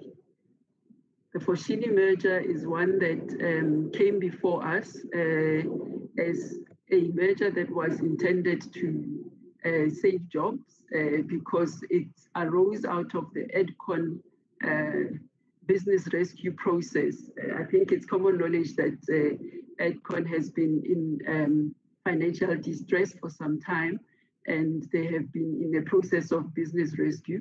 So Foschini was one uh, transaction where there, there were job savings, as mentioned in the previous slides. But in addition to that, there was an, undertaking to maintain the existing uh, procurement ratios with the local suppliers, which speaks to uh, small business development, uh, which is then the next item on that slide. Simba um, um, comes up again here, specifically in respect of the development fund which it uh, agreed to create uh, to the amount of 600 million in order to develop uh, small businesses. Mondi PLC, um, an investment of 150 million to assist the local communities. And um, the other two cases also speak to small business development, the Senvest and Marinvest uh, merger transaction.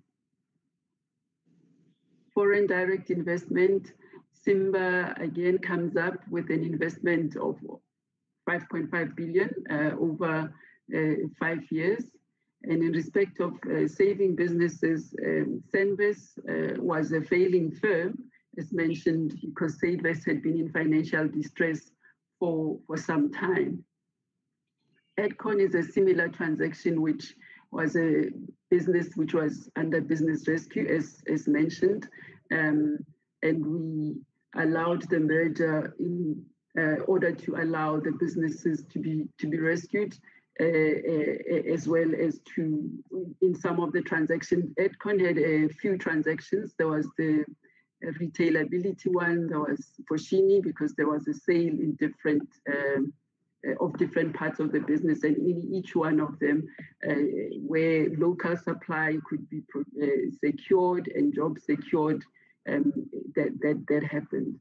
Finally, coming to the issue of um, tackling barriers to entry, uh, we had one uh, merger, which is a merger which was uh, prohibited. Uh, the uh, merger was a merger in which Naspers, the Naspers group, was going to acquire We Buy Cars. We Buy Cars being a large uh, um, car buying service, which would then be combined with Naspers um, various entities that are crucial in the market for car buying services, which include uh, OLX, which is an advertising platform and a fairly large uh, advertising platform for the sale and purchase of vehicles, also including the Auto Trader brand in the stable of Naspers, as well as um, other um, platforms which uh, uh, would uh, see the intersection of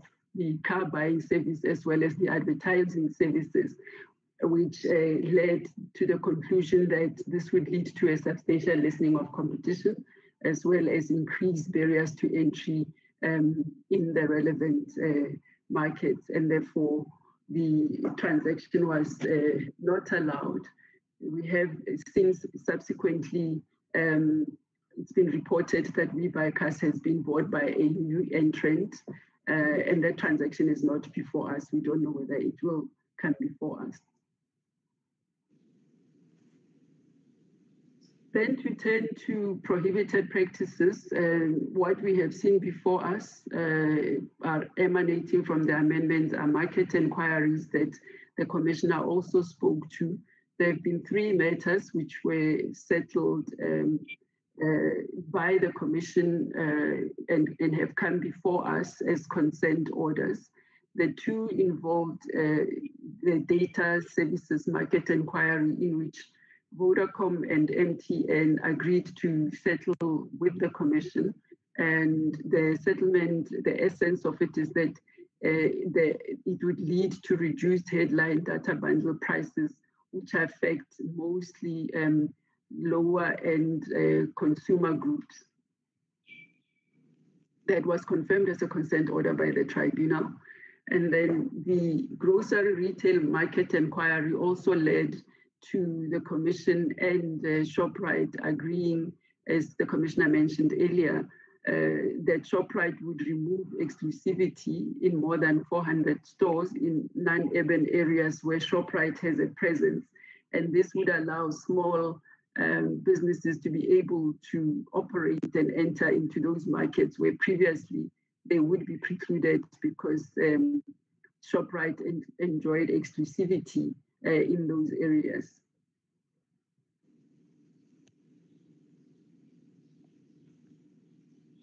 That then is the work uh, that we have done in uh, respect of those two aspects, COVID-19 as well as the amendments. Thank you.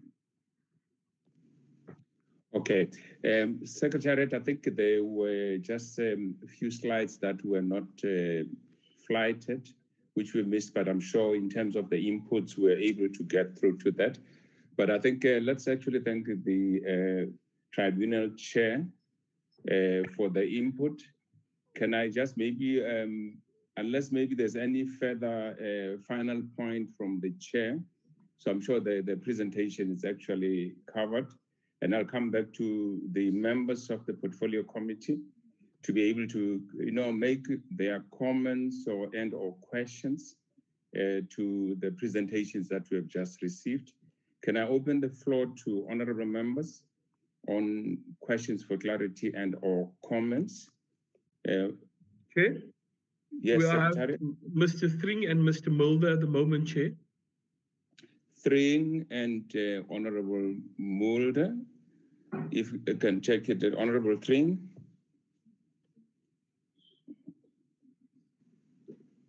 Uh, thank you, thank you, Chair. I, I think firstly, uh, we want to appreciate the work done by the department, uh, the Competition Commission and Competition Tribunal.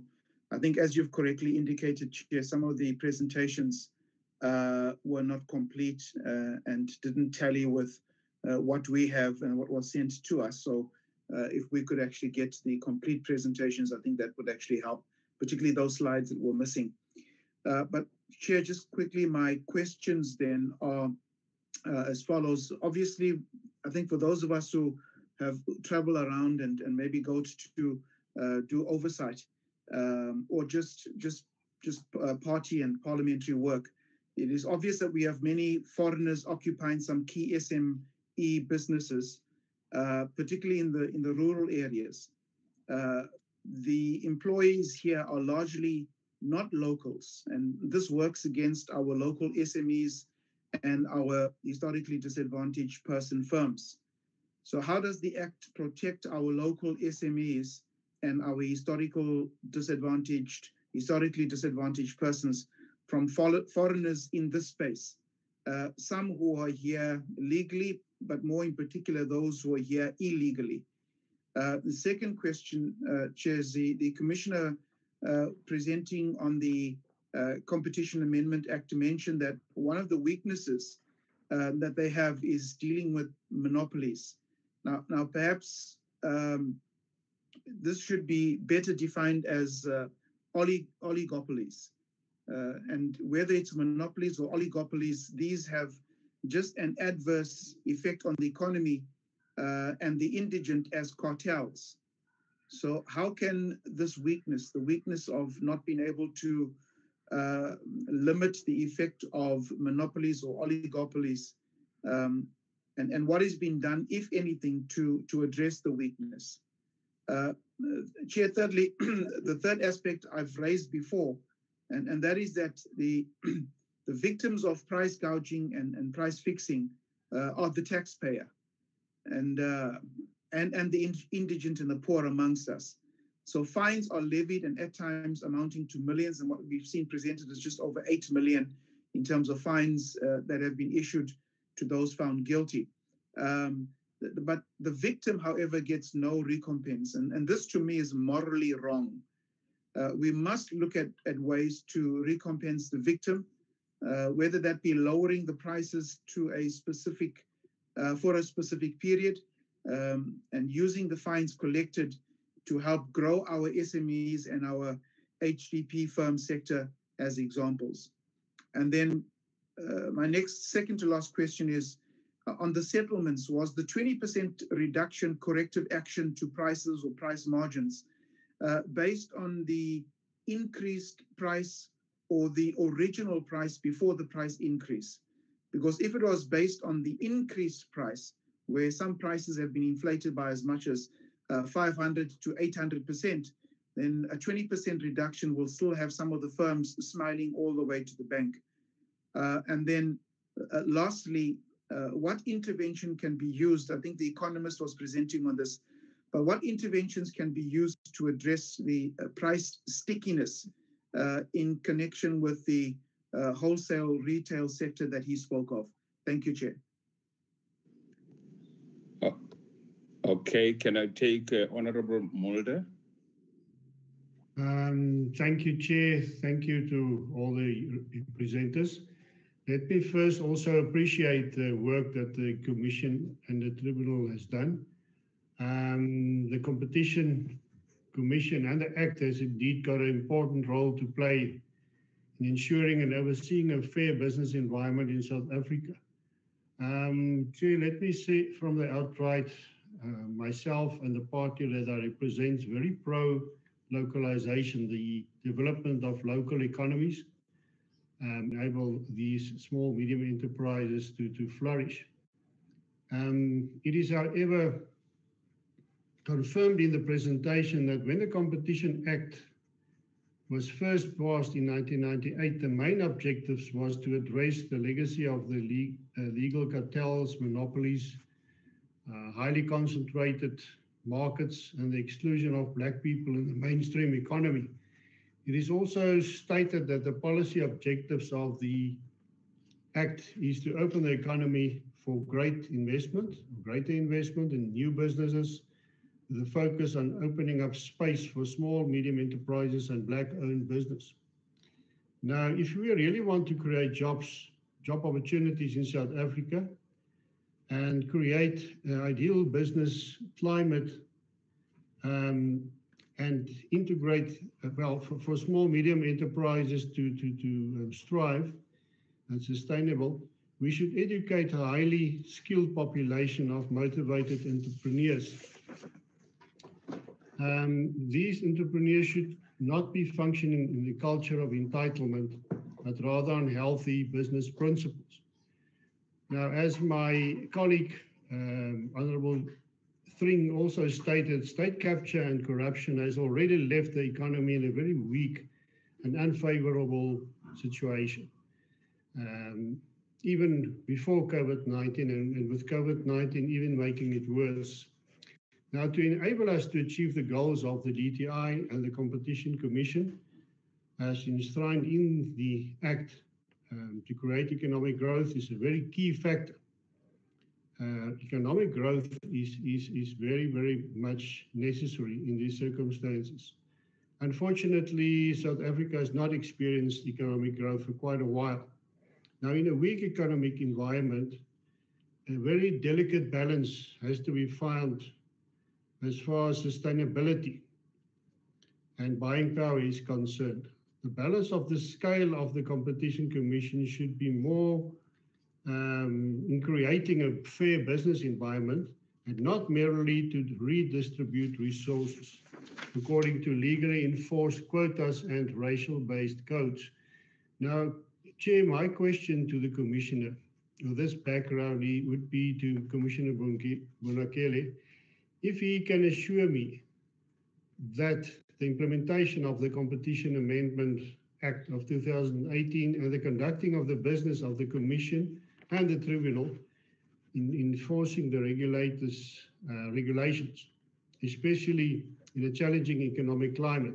The focus will indeed be on overseeing a fair business environment and not mainly about redistributing existing resources. Thank you, Chair. Um, can I just check it further? Yes, uh, or uh, Secretariat? Chair, uh, we Mrs. Herman's hands up, but she lowered it. I don't think she's, that's still the case, but Mr. Mantashe and Mr. Mbuyane, Chair. Mantashe and Mbuyane, in that order, Honorable Mantashe. Thank you very much, Chair. I also want to appreciate the presentations that we have just received, Chair. Well, as they were presenting, I just, uh, a question just come to, to my head with the extended mandate of the commission, uh, where the presentation said they had to uh, appoint deputy commissioners, two of them.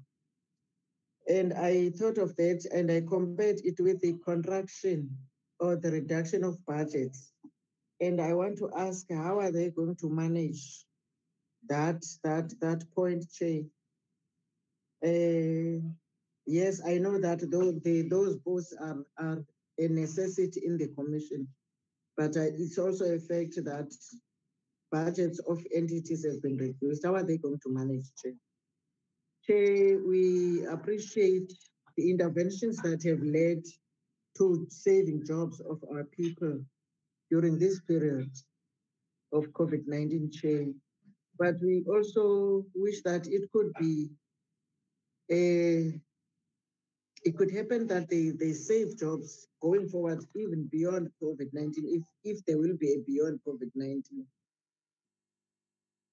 But Chairperson, I have seen, I've observed the the interventions they've done in as far as, as price hikes are concerned. during this period of COVID-19. But I had submitted earlier on when, when in the middle of the pandemic, and I made a request to the commission to make an investigation of the prices of eucalyptus oil, which eases the tightness of chests for COVID uh, positive people. I don't know whether it was because I submitted this, this request as an individual, and I want I wish to submit it now, officially that they must do that investigation because its price has hiked. It is three times the original price that we know. And I request that this will be taken into consideration, Chairperson. Thank you very much. Honorable Mbuyane. Honorable Mbuyane. Uh, Chairperson, uh, good morning, and uh, I appreciate uh, uh, Chairperson the opportunity.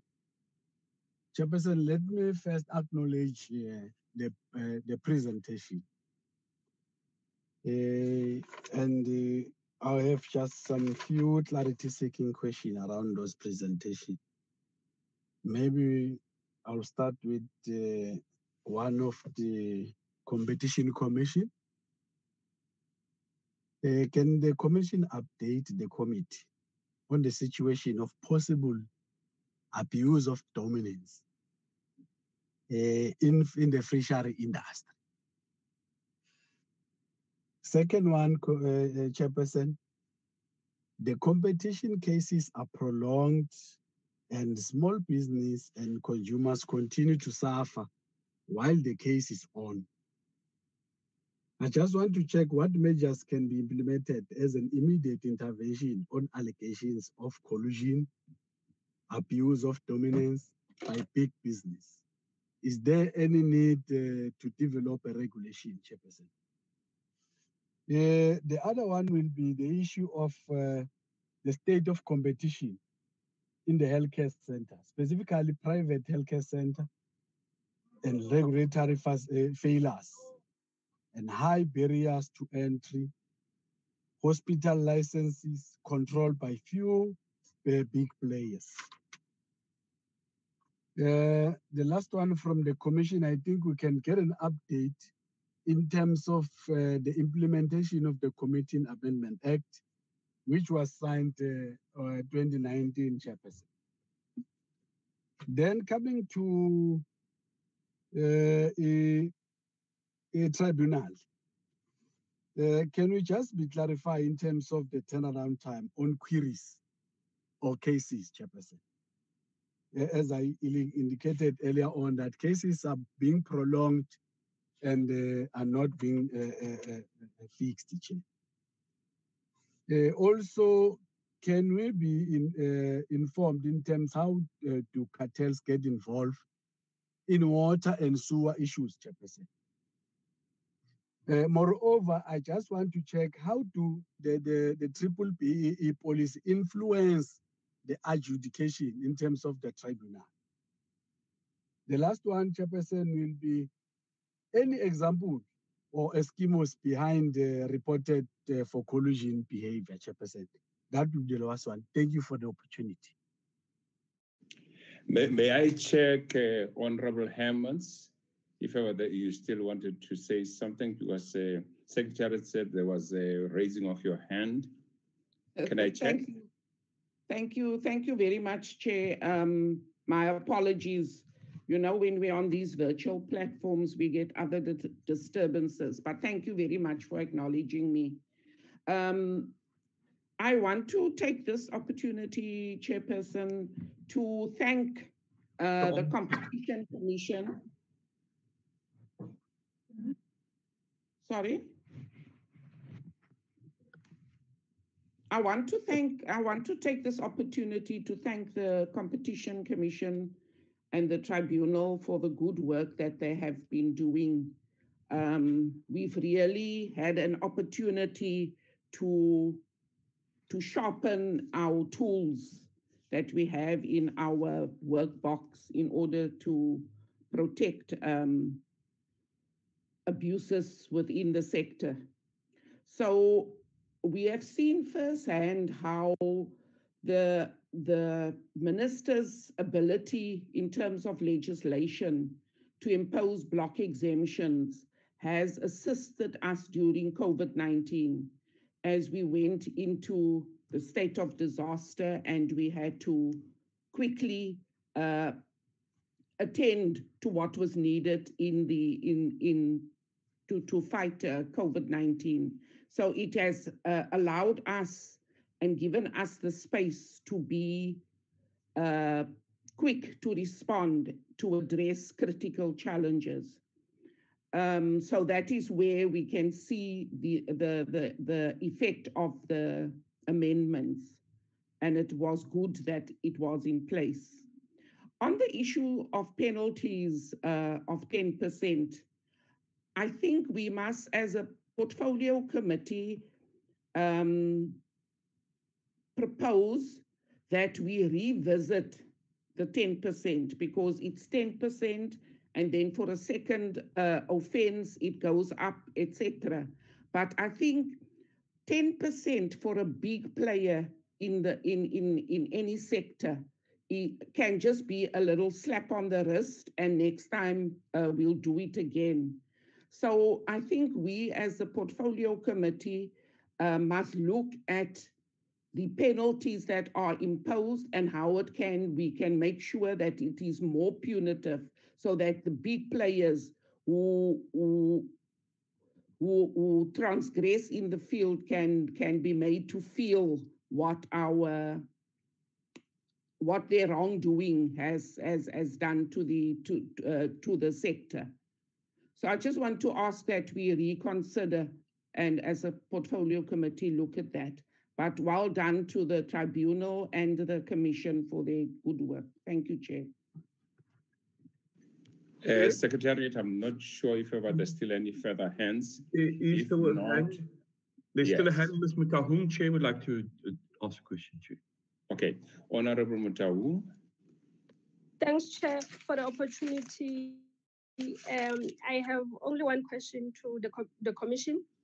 I just want to check with the Commission, how did the pandemic affected uh, the impact on your fiscus and how that you have no, I just wanted to double check uh, how did the pandemic affected the impact on your fiscus? Now that you have a lot of cases versus the number of investigators that you have, when one checking the delay on some of the cases to be finalized. Thanks, Chair. Chair, Ca- can no I then- further questions, Chair. Okay, no, thank you very much. So, so can we just ask uh, DDG Dr. Pule? Um, we would actually then ask you in terms of picking up on the comments and questions from members to actually then actually have that dialogue or discussion, maybe actually guide uh, the us through the members of your team in response to and comments to the questions. Dr. Pule? Uh, Thank you, Chair, and, and thank you to the members of the committee. Um, there are quite a number of questions, um, um, and most of them from my notes here, Chairperson, seem to be directed to the Competition Commission. So um, I can't read all of them out. I hope that the, commissioner, I no no, I know that the commissioner is probably has has noted them. There were a few that I thought before I hand over to the commissioner, um, I could just pick the address and then we'll hand over to the commissioner because there's a couple for him. And they, um, the chairperson, I noted a question for the chairperson of the tribunal from, and that the Honorable Mbuyane on the turnaround times on the cases. Uh, there was an issue around water and sewer cartel, I believe. Commission could also deal with that. There was a question specifically around the, how BEE legislation affects the decisions of the tribunal, I believe it was, from the Mbuyane. And then there was also an issue around, um, so I think those were the ones directed specifically at the tribunal, if I'm not wrong. Um, um, chairperson will correct me if I'm wrong. Then most of the issues really were um, for the commissioner. Uh, Honorable Thring mentioned one weakness in dealing with monopolies for the commissioner was the issue around victims of price gouging and are fines issued, but, but how is the victim recompensated? There was the issue around the 2% correction of the prices. I think James Hodge will probably with the commission and the interventions and others which we can just check. The one that I wanted to start with, um, I think there were two chair that uh, the department would want to just quickly address. Um, Honorable Thring asked the question around foreign employees. How does the Act protect locals from illegal foreigners? I think, Chair, um, and, and I think um, that the Bonakele will come in also with his take on this one, but it's an issue that has previously been uh, discussed um, by my recollection in PC. And, and, and the, the bigger context really around that issue, Chairperson, is firstly the sensitivity around um, the, the, the recognizing foreign nationals who live and work legitimately in South Africa. I think that's an important part to recognize that you know there are foreign nationals who live among us as South Africans legitimately so. Um, individuals, obviously, chairperson who are in the country on illegal grounds are subject or should be subject to the necessary legal pro pro processes.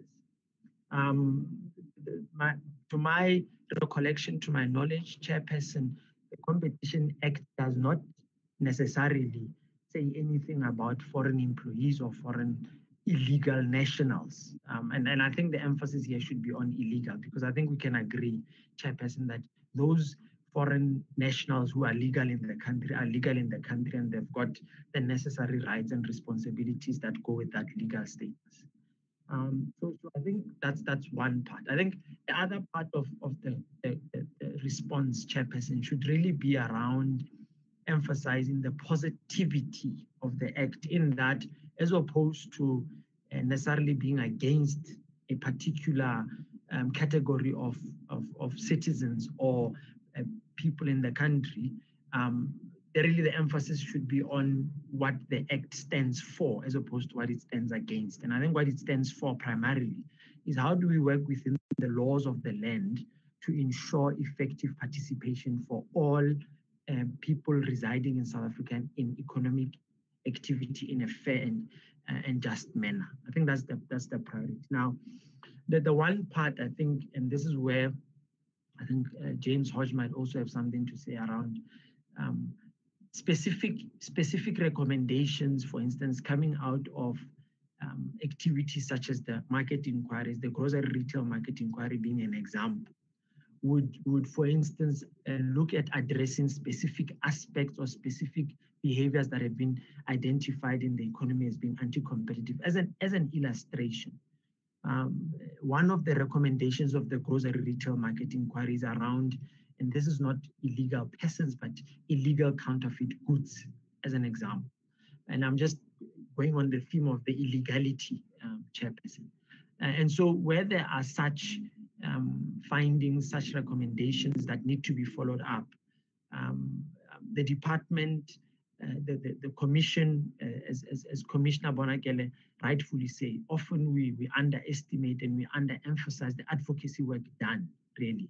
Would work with relevant stakeholders and, and, and, and, and, agencies to ensure that those are, I mean, in the case of the grocery retail market inquiry, um, just to continue on that theme, we are currently in engagement and discussions with the South African Revenue Service to at illegal counterfeit goods in the grocery retail market uh, value chain.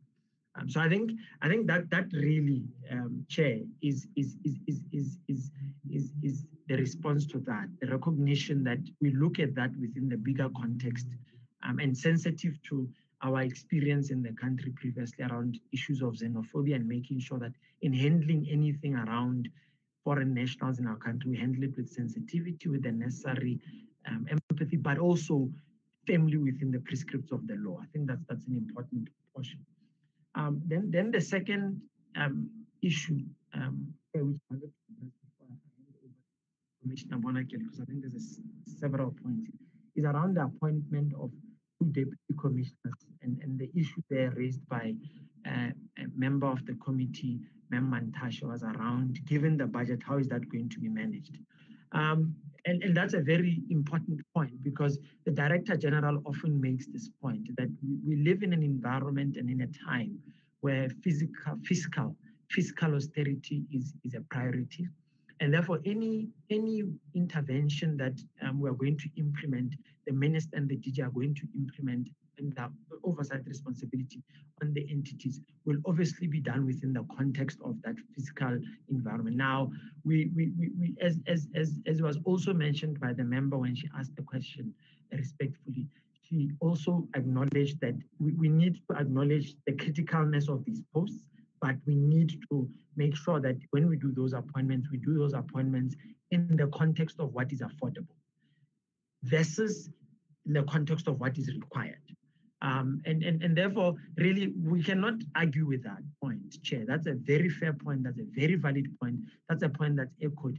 The, the question specifically was how are we going to handle it? The manner in which the DG is guiding and the minister for us to handle it is to look at the, the, the entire context of what is required by the entities and to be able to make a balanced decision in terms of what needs to be done. At the moment, Chair, um, there are two acting deputy commissioners um, supporting the commissioner at the moment. And therefore, there's still scope for the minister and the DG to apply their minds, considering what are the priorities. And, and we know now that, for instance, with the medium term strategic framework being revised, the president having issued the economic recovery plan and others, we also have to look at, we're in the middle now as well, Chair, um, um, um, conveniently of finalizing annual performance plans and the like. We have just finalized annual reports. So we are in a very good uh, environment and time now to look at all the issues that could impact on whether uh, those two additional DCs are appointed on. Of course, that's a ministerial prerogative, but but uh, Minister and DG obviously will take advisement in terms of the practicality. So it will, it will be handled by looking at the entire context of what is required. We are very much conscious of the fiscal environment, um, and it, it, I mean, the pinch is getting stronger and stronger, but as it gets stronger and stronger, one thing that um, I've heard the commissioner say, we also have to be creative about how we handle the demands that are put on the entities, um, chairperson. I don't know, I, I, do not think there's anything else for now, okay? Um, that, I, that I think the department, there was, of course, we, we wish to um, echo um, and, and, and, and on behalf of the DG, I think I should acknowledge Member Herman's point around acknowledgement of the good work of the Commission and the Competition Tribunal. We appreciate that. And, and, and also, perhaps the Commissioner might want to chime in on this one. Acknowledge the point that um, um, um she raised around the issue of the 10% uh, penalties and that the PC might want to look at this further. Um, those, those are the issues for now. I would like to hand over now to Commissioner Bonakele. I think there were specific issues which were addressed and then finally appeal to the chairperson of the tribunal as well, if she would like to respond. Thank you, Chair. Commissioner, Commissioner.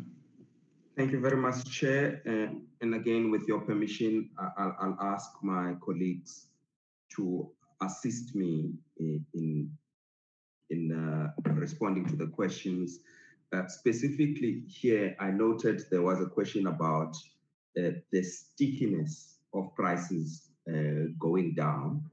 Uh, and I think the chief economist may, may enlighten all of us uh, here.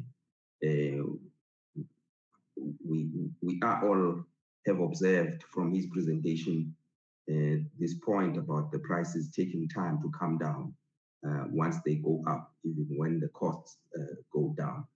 so that's that's really an, an economic question I, I, may need um, assistance in addressing, but the deputy commissioners are also here. They can assist where, where they need to. With your permission, Chair, if I can ask James to, to go ahead. Yes, that's in order, Commissioner.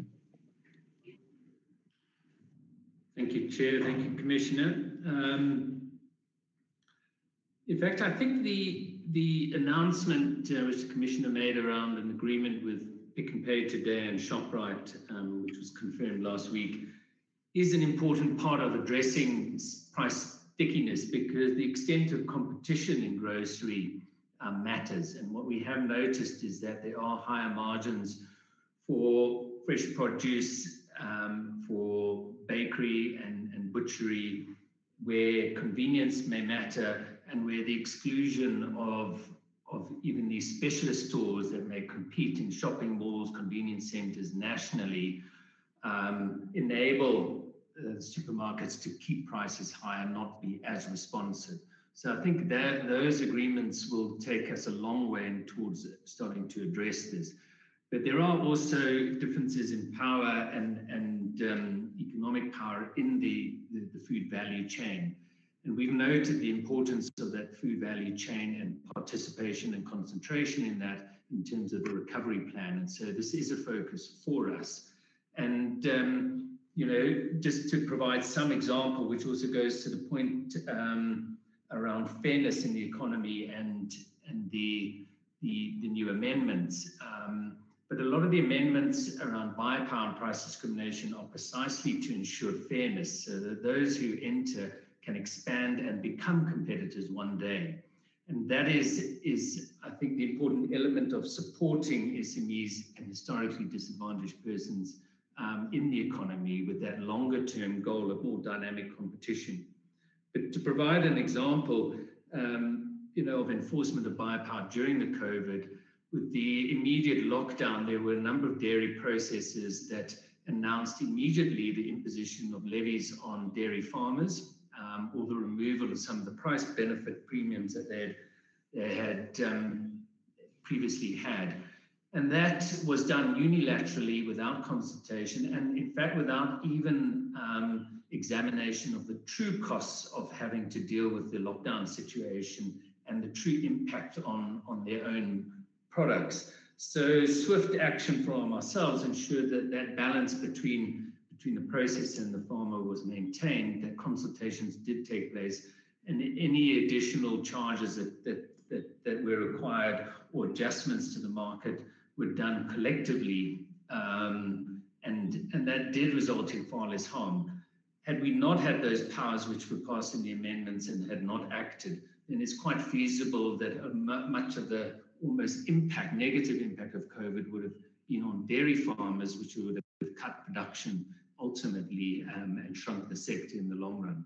So, so I think the you know the actions around competition um, in the food value chain and addressing those bottlenecks and concentrations are an important part of addressing that price stickiness. Because um, even if prices would have come down to dairy farmers, they weren't coming down from the processor to the retailer either. Hopefully that answers some of that, that question. Commissioner? Uh, uh, thank you, Chair. I wonder if the Deputy Commissioner wants to say something, then I, will sweep quickly. Okay. okay. thank you, Commissioner, and uh, to the chairperson and members of the committee. Uh, and thank you again for for the encouraging messages of, of support and recognizing the work we're doing as the commission. And there are questions I will I will tackle, and then of course the commissioner said he will, do the sweeping.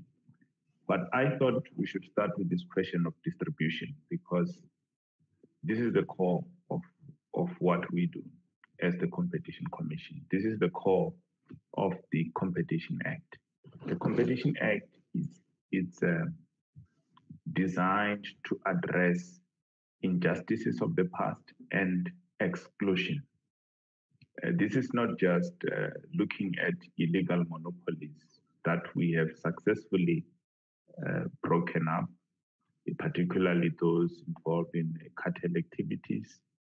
Uh, this is to address the apartheid legacy of exclusion, which shows uh, even today in the nature of the markets we see highly concentrated structures of the markets, structures that uh, exclude SMMEs from participation in markets. So the issue of distribution is a constitutional imperative. And indeed, the Competition Act is meant to ensure that our markets uh, are competitive our markets are inclusive. And you can see in the nature of the amendments uh, that we have now, these amendments pay specific attention to uh, implementing measures to promote access to SMMEs. So the two uh, are not uh, mutually exclusive. So we focus on on distribution, and uh, I've been looking at the charts uh, from Honorable Mudla. Uh, this is not the distribution. It's not the distribution we we are talking about. There has to be an equitable distribution uh, of resources, fair opportunities to participate in markets. And this talks now to the question, and I've tackled issues of cartels. There are indeed, of course, uh, monopolies and oligopolies that we uh, still have to, to tackle, but there are new ones as well. So the, the law is continuously being refined. The commissioner has, uh, uh you know, aptly presented the kinds of challenges we faced uh, in uh, tackling abuses of dominance, and we we hope, and we've started seeing uh, some successes in courts uh, on abuse of dominance.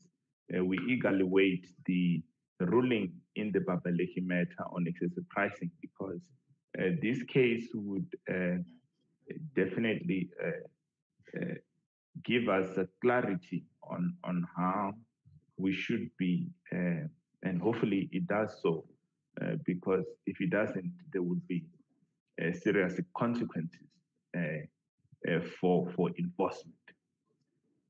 So we um, okay. I found this on the web. We have uh, there's a question uh, from Honorable Mbuyane on private healthcare. I'll be very brief on this because we have conducted the health market inquiry. The report has been released, and I know, uh, Chair, that um, we we are yet to brief. I think we have, if you correct me, whether we have fully briefed you on this and, and, and subsequent implementation of the private uh, healthcare inquiry. Indeed, there are huge challenges uh, of licensing. There are usually challenges of competition in the private uh, uh healthcare markets that we we have to uh, attend to uh, as the commission. And issues of, I think the eucalyptus matter, we would we would be you know, we would look at this again, uh, uh, Honorable Mantashe, and, and, and I think you're welcome to, to provide uh, further information uh, to the Commission on this. And lastly, I would, and I think the Commissioner would look at other questions. I would just touch on this. Uh, there was a question by Honorable Thring on the 20% uh, that we imposed in various uh, consent orders subsequently confirmed by the tribunal. Uh, the 20% was to restrict the margin. So we kept the gross margin from 20%. So where firms were earning excessively high margins uh, for these uh, uh, essentials, uh, essential products we identified, we reduced these margins significantly and required them to cap these at 20%. And we didn't have uh, res, you know, uh, resistance. So our bottom line was to ensure that the firms do not earn excessively high margins. And we have seen uh, successes because uh, there has been a lot of price stability uh, in some uh, of these um, you know, products, particularly you know, in the pharmaceuticals where we're having a whole lot of other challenges, and you have seen in retail uh, some stability as well. But there are other residual issues uh, that we are tackling uh, outside outside of this. So, Commissioner, I, I, would thought I would just cover those, but I can cover more if, if you want. I'm just looking at the time as well. that maybe you can cover the rest. Thank you. Indeed, I, I will. Uh, Chair, uh, I, I, nearly forgot uh, the Deputy Commissioner mentioned that the complaint by the Honorable Mantashe It's perhaps fair to give the manager responsible to, to, to, to make, uh, to, to give an answer to Honorable Mantashe because we've made some progress with, in relation to that complaint. I don't know if Kani is here to update uh, uh, Honorable Mantashe on that, on that specific uh, complaint. thank you, Commissioner. And uh, good morning to the honorable members. Um, so the complaint from uh, Honorable Mantashe uh, has been investigated and the team uh, is coming to a conclusion on the matter. Uh, essentially, this was about eucalyptus oil, as she has mentioned, which uh, is a product which uh, is used pharmaceutically to bring relief, you know, for cold and flu symptoms, and particularly pertinent during this COVID period.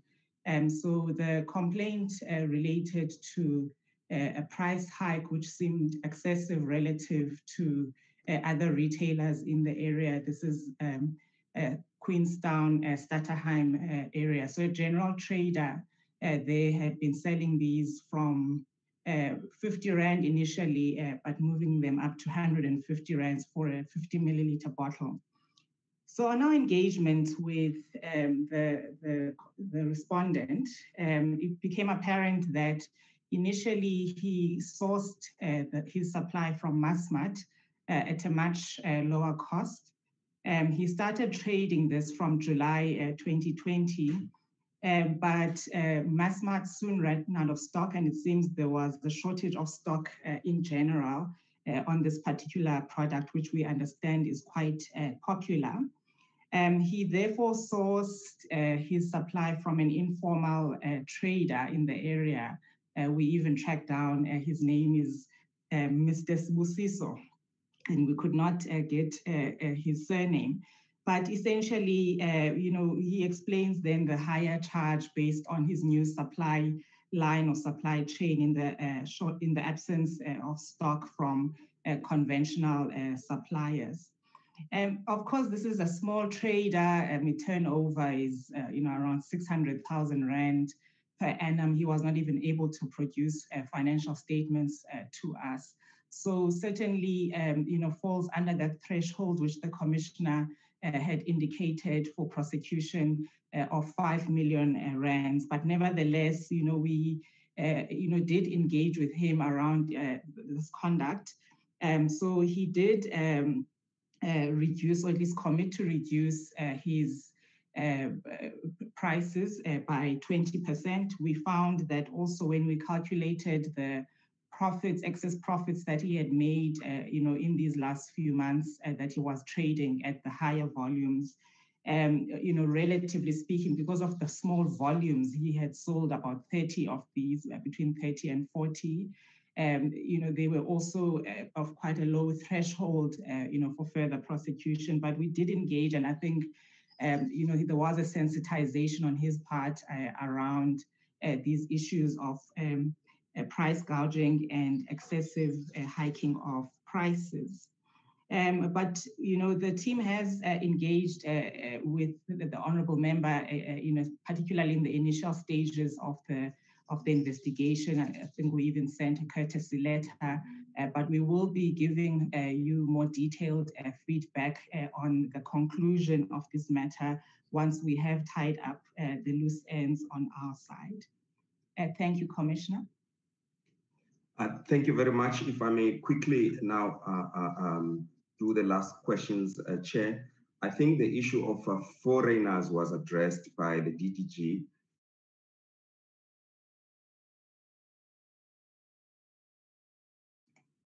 Uh, sorry, Chair, I think I was muted at some stage.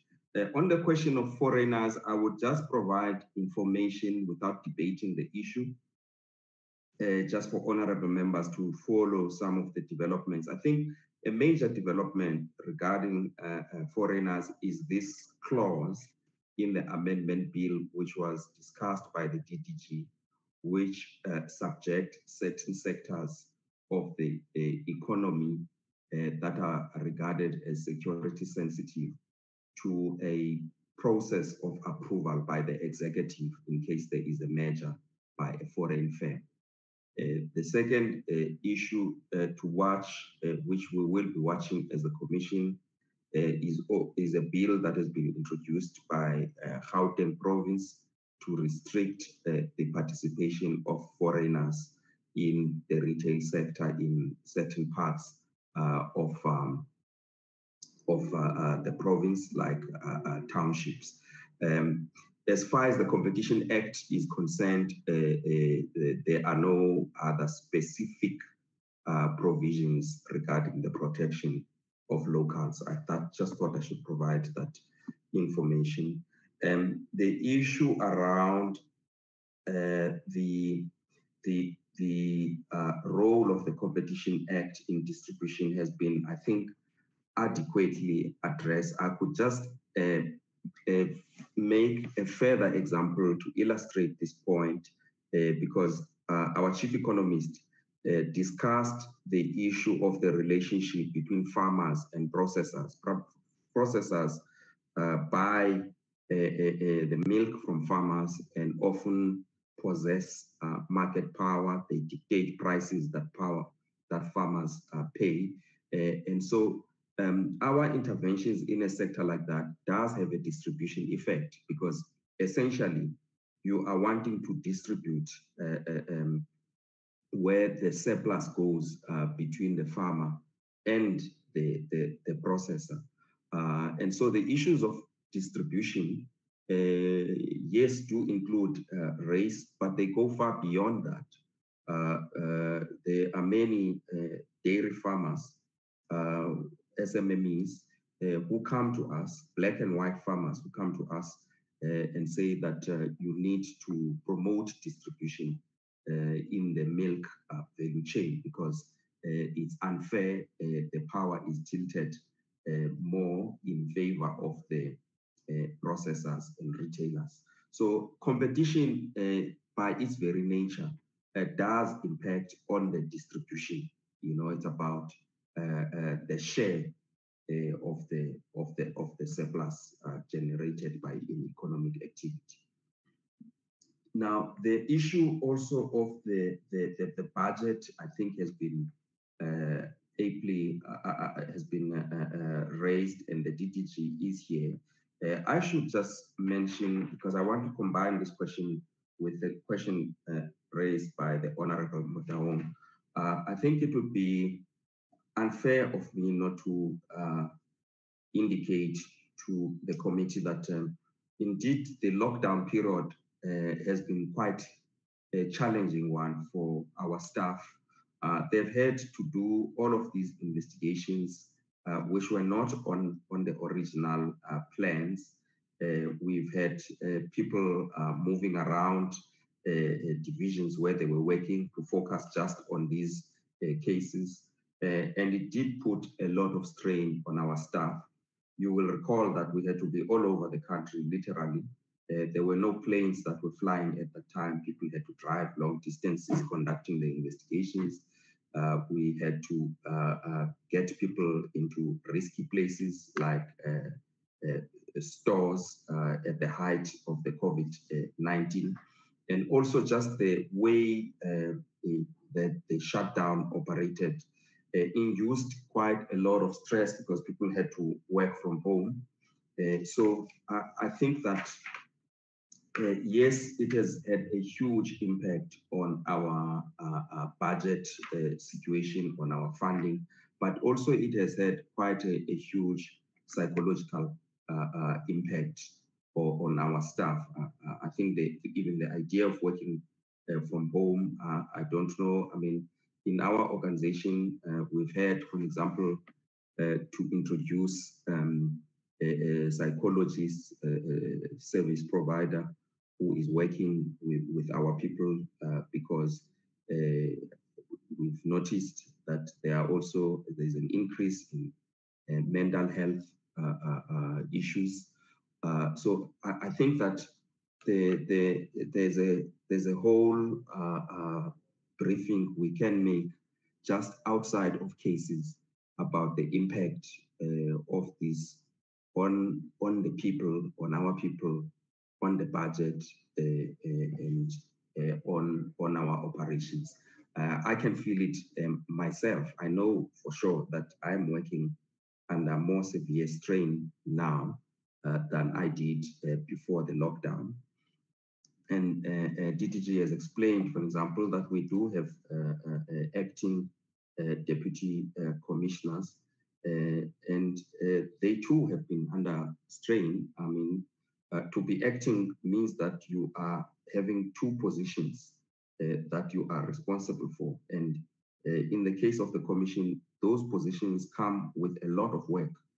Uh, uh, and so I think, uh, yes, we, we will have more discussions with the department about this, but I think the, the questions from honorable members are, are definitely spot on. on the question of the the, the, the fishing uh, uh, industry. Uh, yes, we, we have been engaged a lot about this industry. we, we, we think that dominance in this industry is partly also a function of uh, the, the distribution of fishing rights uh, by the responsible department. Uh, it's true that uh, it's, a, it's a fairly concentrated uh, sector. the department has now, only just now, through our engagement, started reserving some of the fishing rights for smaller fishing uh, communities and uh, companies coming from, from those areas. Uh, we've seen a lot of consolidation, particularly on the processing side of fish uh, I think that uh, we can and we've done uh, some work as the commission on this, but all I'm saying is, honorable members, that this work could be made much easier uh, by uh, making sure that because the fishing sector is a regulated sector, uh, because those fishing rights are, are, are issued by the state. and I think that we can, if we can tighten it there, we would address a lot of the other issues and Honorable Mbuyane, we, we would be, uh, uh, this is an area where we could take a whole hour briefing you uh, on all the cases. Uh, there's a whole history uh, uh, Uh, uh, here, but you are spot on. There are there are a lot of problems in the in the fishing industry. And uh, just on the um, on this question that I think uh, has been taken up by the committee around fines. Uh, I would like that maybe you add uh, some of the questions that keep coming about penalties, uh, about why the penalties go to the national revenue funds and are not used to remedy the, the damages uh, that are caused in markets by these monopolies and cartels. Uh, again, that's a that's a that's a legislative uh, matter. Uh, the fines do go to the National Revenue Fund, uh, and National Treasury is very protective of that process. Uh, and there is something, there is nothing much we can do about it. It's a, it's, it's a matter of legislation. I think that um, the, the, the issue around uh, uh, um, uh, the, the, the sewer and water uh, uh, issues.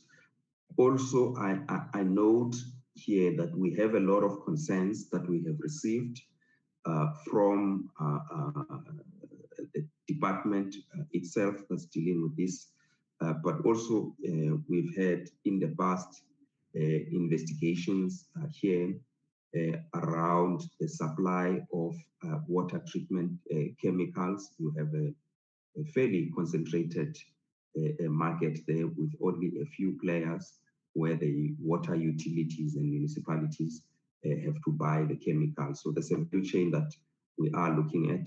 Uh, there is also a lot of uh, suspected cartelization of the provision of engineering services uh, for water treatment works uh, uh, and the likes. I think it's going to be a, a work that we would be faced we would be having a, a major project on uh, in, in, in the future. Uh, Chair, I think uh, we've covered um, almost everybody. My apologies upfront if I've missed uh, uh, anything, but thanks very much for the opportunity. Uh, I'm sure Commissioner will be checking with the tribunal chair if there are any issues. Um, before we go back to Dr. Pule.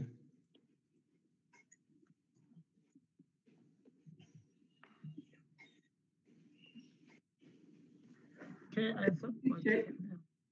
cases for the tribunal. I'm not sure. Okay. Mem, I'm, I'm just, yes, yes, um, I was just checking uh, DDG, if, if ever there's any comments uh, from the uh, tribunal. If not, I'm sure we'd actually try and ask you to round up. Okay. Yes. Chair, there's two members who would like to follow up questions, Chair, Mr. Mbuyane and Mr. Thring. Okay. Um, all right. Can, can we take um, Honorable Mbuyane and Honorable Thring in that order? Yeah, Chairperson, thank you very much. Uh, I think uh, there's this issue of triple BEE policy. Uh, how does it influence adjudication in terms of the tribunal? I'm not, I was not covered on that one. And also, Chairperson, on the two issues that I've raised, it's not for the first time raising this issue. And the very same department is dealing with the matter, is dealing with the matter. The issue of water and sewer and the issue of healthcare in private sector. Uh, I don't I don't think even even if the, the department is dealing with the matter, the matter can drag to this to, to this law. Even update, I can get an update. How far are they in terms of checking or investigation the dominance? Uh, probably they're agreeing with me that there are regulatory uh, some some some glitches there. But what is it that they've done currently? Because really, this is concentrated. People have got dams, but there are people that is, don't have water. How do you justify that in the Republic of South Africa, Chairperson? Thank you.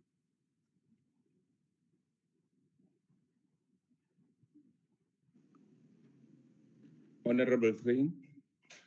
Um, yeah, thank you, Chair. Mine is just a fairly simple question. I think um, uh, one of the presentations, the mention was made of uh, some of the fresh produce where there was some price hikes, and one of those um, fresh produce was was I think uh, ginger. Um, and I can recall my wife mentioning that just prior to lockdown, uh, the price of ginger was around about 70 to 80 rand a kilo. Um, and then a week or so into lockdown, uh, she had to purchase it for in the region of about 140 rand. So there was almost like a 100% increase uh, in, in the prices, 140 rand per kilo. So within within the space of a week, uh, you had that 100% increase. I'm just interested to know, much like with, and now this is in your major, the major supermarkets, you know, your Pick and Pays, Spars and Checkers and so on, uh, where we've seen these particular uh, price hikes. Thank you, Chair. So my question is, is I just wanted to know whether there's, I heard that there was an investigation into the ginger. What was the outcome? Okay. Uh, DDG, Dr. Pule, if I can go back to you and then uh, let's actually get um, the commissioner and the tribunal to, if ever there are any further points. Dr. Pule? Uh, Chair, can I request that we give the, uh, tribunal to respond now as well? Your line is bad, uh, Doctor. Is it not clear? No, much better now. Oh, I was saying, I was saying, can we request the chair, tribunal chair? Because I think the issues that, that them we and one of them is, was for her. And then I think, I don't know if Commissioner Bonakele wants to come back on the water and sanitation. And the fresh produce will be James Hodge from the commission. And, um, uh, Chairperson Tribunal?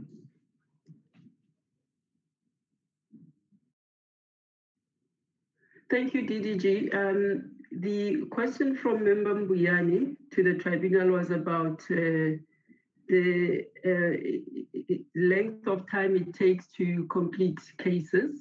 The second question is a question that was asked in the second round, uh, and I didn't quite get that question about BEE. So if uh, Member Mbuyane could uh, repeat that question. In the meantime, uh, with your permission, Chair, I'll proceed to answer the first question, which is about uh, the tribunal turnaround times on cases. I think when one looks at uh, the turnaround times, there are two aspects to look at it from. One is from the merger side of uh, uh, our work, and the other is from prohibited practices side. On the merger side of things, um, I don't have the figures with me, but uh, the tribunal substantially meets the timeline stipulated in the Act in terms of uh, deciding uh, mergers, uh, even with the uh, constrained capacity that it that it does have. In respect of prohibited practices, um, the Act doesn't st stipulate time periods uh, for the completion of those matters, but the factors that do affect and impact the turnaround times uh, from a tribunal perspective are, are, numerous, and I'll just mention a few of them. One of them is uh, the issue of the complexity of the cases. If one looks at our statistics, and I don't have those uh, in front of me, in general, you find that in respect of cartels and, and, and, and behavior that uh, is is, is uh, competition violations that are egregious, which um, also are supported by the Commission's leniency policy, those cases tend to move quicker because uh, the evidence is there and uh, the parties come forward to confess. In respect of um, abuse of dominance in particular, that uh, area involves quite complex economic and legal analysis. And so even before the, the tribunal gets to hearing the matter, often the uh, case takes long because the parties themselves are contesting various aspects uh, of, the case. So the complexity of the matter is basically one reason why the delays in um, decision making come about. The second is also related to interlocutory uh, proceedings that also tend to delay matters. So interlocutory proceedings are um, applications where parties bring cases uh, or request information before the matter can proceed to its merits. And some of those uh, matters will, for instance, be for access to documents uh, before the parties can then go on to the merits. Sometimes it's jurisdictional issues um, that are sometimes appealed to higher courts. And therefore, before you can even begin hearing the merits of the case, um, one would have then had to deal with those uh, interlocutory applications. And what we do see, uh, again, the statistics are not here, is that there's a correlation between the complexity of the case and uh, the number of interlocutory proceedings that happen. So the more complex the cases, the more there's a contestation before even the hearing about uh, access to documents, about jurisdiction, about a whole number of uh, procedural matters that need to be addressed. So that's the second reason. And then the third reason is the issue of member capacity as well. We have also been operating under very tight uh, um, uh, um, numbers. Uh, there are four tribunal members, and the four include myself as the chair and the deputy chair and two tribunal members. So the cases that I referred to earlier that I was mentioning the tribunal has been dealing with during this lockdown has primarily been on the um, shoulders of those four members. And again, just to remind members that the um, tribunal matters require a sitting of three members per case. So as I sit here today um, in, in, in, in, this um, uh, presentation, the other three tribunal members are hearing cases in the tribunal, and that's the full extent of, of, of, of the members. So the three of them are hearing cases this morning, and um, part of what happens then after the reasons, as you would appreciate, is reason writing. That also requires a lot of quiet time of actually um, doing reason writing. So there's a whole number of factors that that cause delays. We do have part-time members. The part-time members um, have been able to assist uh, during this lockdown period because uh, they are able to work from home and therefore have been more available uh, to, to, to, to assist on the cases. The part-time members are six uh, part-timers and one is not entirely in control of their time in terms of their availability to the tribunal. And we are not in control also of when matters come before us to plan with the part-timers as to their availability. So it's a situation that we manage on a day-to-day basis, and we, um, I think, uh, have managed to comply as much as possible to the um, to, to, to, to the timelines with the limited uh, constraints.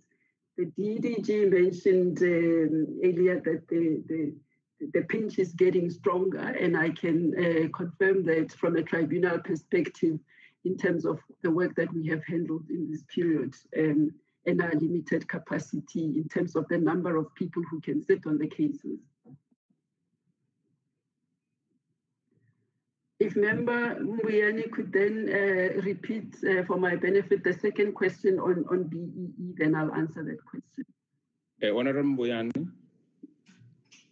Chairperson, thank you very much. It's a very straightforward question, Chairperson.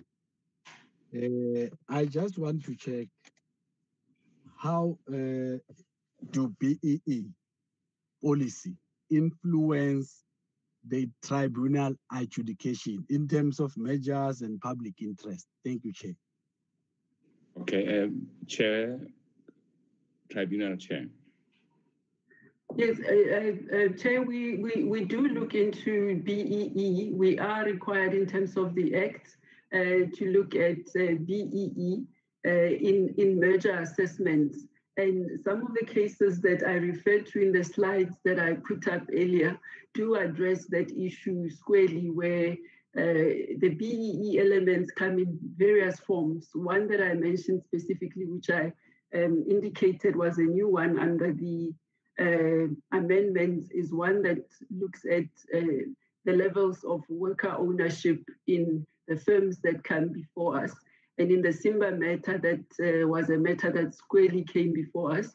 And um, there was a condition to ensure that uh, the workers will have uh, ownership in, in, in the merged entity. And the focus was also on uh, historically disadvantaged persons.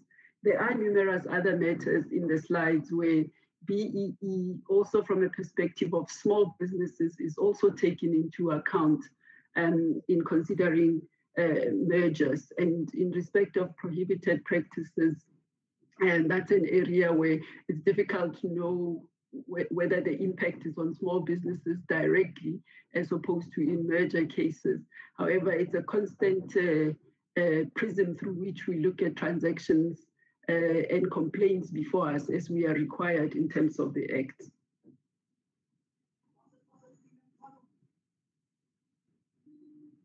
Dr. Thank Pule, I'm sure, yeah. Uh, Chair, I think there was one more question around uh, the ginger. I think James Ford might be best for this one, the fresh produce from Honorable Thring. Um, James, do you want to cover that? Uh, uh, uh, thanks. DDG, there's also a question about the water rights. If maybe Bate can quickly address that as well. No problem. Thank you, Commissioner. Ndadebake, you'll be up next after James. James, please proceed. Thanks, DDG. On, on the price of ginger, what happened in the wholesale markets, and this is covered in our price monitoring report, is that ginger in wholesale markets and fresh produce markets went up to around 90 Rand a kilogram um, in that first week of lockdown.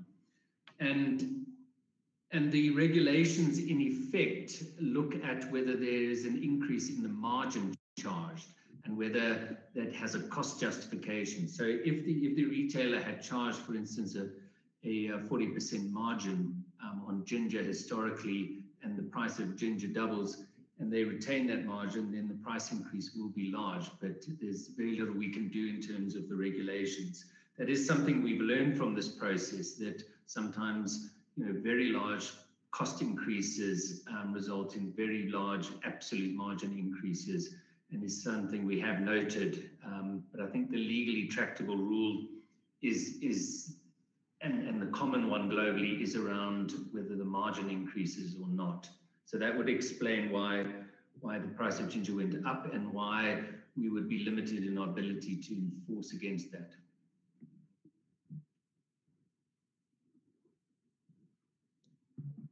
Uh, thank you, Okay, Chair. Yes, perhaps Dr. Pule? Uh, I was going to give uh, Chief Legal Counsel Bakhe Majenge, but I see Chairperson of the Tribunal wanted to say something. Chairperson, do you want to clarify It something? it was just to add uh, to, to what James has said um, about the prices of ginger uh, from a tribunal perspective to say that some of the consent orders that we have uh, confirmed that came from the commission were in respect of prices of ginger, um, where excessive pricing had definitely been confirmed and the, fi- the firms concerned were found to have um, contravened the act. As to what the prices have done or will do afterwards, uh, we don't have sight over that aspect of things. Thank you, Chair. Thank you, Chair. Um, with your with your permission, PC Chair, uh, we'll go to Date Bakia, please. Chief Legal Counsel, Competition Commission. Yeah, thank you, uh, DDG Mulife, Chair and members uh, of the committee.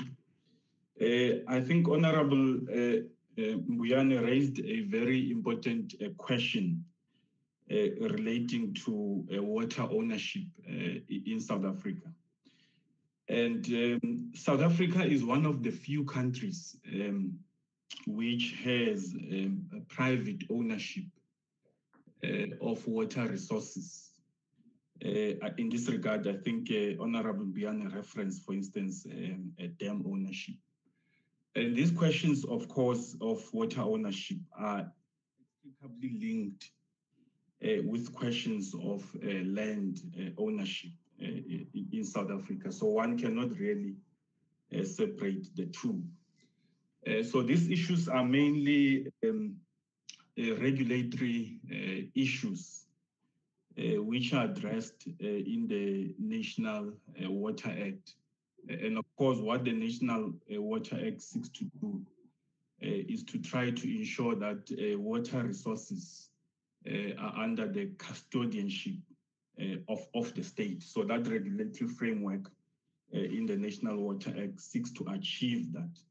So these issues have not really presented themselves uh, within our context as full uh, competition issues. But I think what is very much clear is that uh, they are really uh, regulatory issues uh, to do with um, uh, questions of, uh, of ownership of what really uh, is um, importantly a very scarce uh, resource uh, in our context. So it's an issue, of course, that, as, as I've said, is addressed.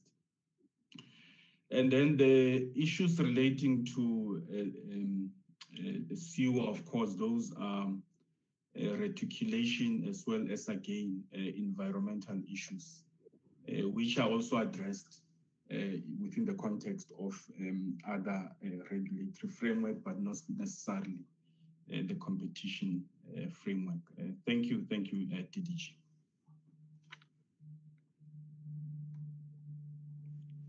DDG Pule? I think, Chair, we, we seem to have covered all the issues um, by my count here. Um, Yeah. So the last thing really, Chairperson of the Portfolio Committee, on behalf of um, the Director General, the Minister, on behalf of the Competition Commissioner, the, the Chairperson of the Tribunal, would like to thank the PC for this opportunity to bring them up to speed in terms of implementation of the Amendment Act. Um, I have not noted anything at the moment that requires follow-up. I believe the issue around the eucalyptus was, was dealt with and will be finalized, and that seems to be sufficient. Um, we note other comments, um, such as from um, Member Hermans around the penalties and others, which probably would, be taken up at a later point. But on that note, Chairperson, thank you very much for the opportunity to present to the PC. Thank you. Okay. Can, can I just say to the portfolio committee members that uh, that uh, concludes the discussion. But obviously, um, DDG, we, we do have regular updates on most of these important uh, issues, like actually engaging today's meeting of the Competition Commission and the Tribunal. So because we have those uh, going away and having the next session will mean we will actually update from what we engaged on here and be able to actually proceed. But if ever there's any specific issue that arises as a question that needs an answer, we generally would ask for seven days to get an update. The, uh, the one of the Eastern Cape, you might find because there's still investigations that you can be able to give an update uh, to the committee of those kind of issues that uh, you know you're still working on giving a status uh, after our meeting within seven days, so that at least we have a closing status. When we actually have a follow-up uh, meeting, we will actually then get an update moving forward. But knowing that is taken care of, it's quite crucial. So can I thank you, DDG and uh, the team, and maybe the portfolio committee members as well for the engagement. But further, I think uh, we will be actually engaging at the next level of what progress is on the basis of today's discussion.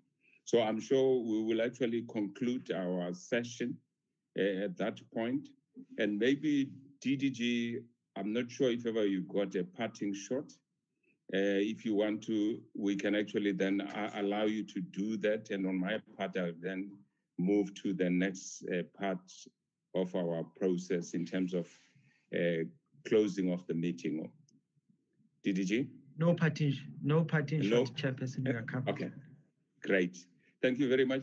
Honorable members, uh, Secretariat, I'm not sure if ever there'll be any issue you'd like to inform us on. Uh, but I think on our part, we will actually do have our portfolio committee meeting same time tomorrow uh, on different issues. Can I get Secretariat just to confirm that? And uh, I would like us to actually try and conclude uh, our meeting at that point. Secretariat? Chair, tomorrow we will get an update on legislation with respect to the Protection of Investment Act and the Legal Metrology Act, Chair. It's the same process that we had today, Chair. Well, to honorable members, uh, the, the uh, department and the commission can actually thank you and uh, for the committee, our meeting stand agenda. Can we reconvene tomorrow at nine? Thank you very much. The meeting is agenda. Yeah. Thank you, Chair. Thank Thank you. you, Chair. Long Thank live you the very chair. Thank you. Long live.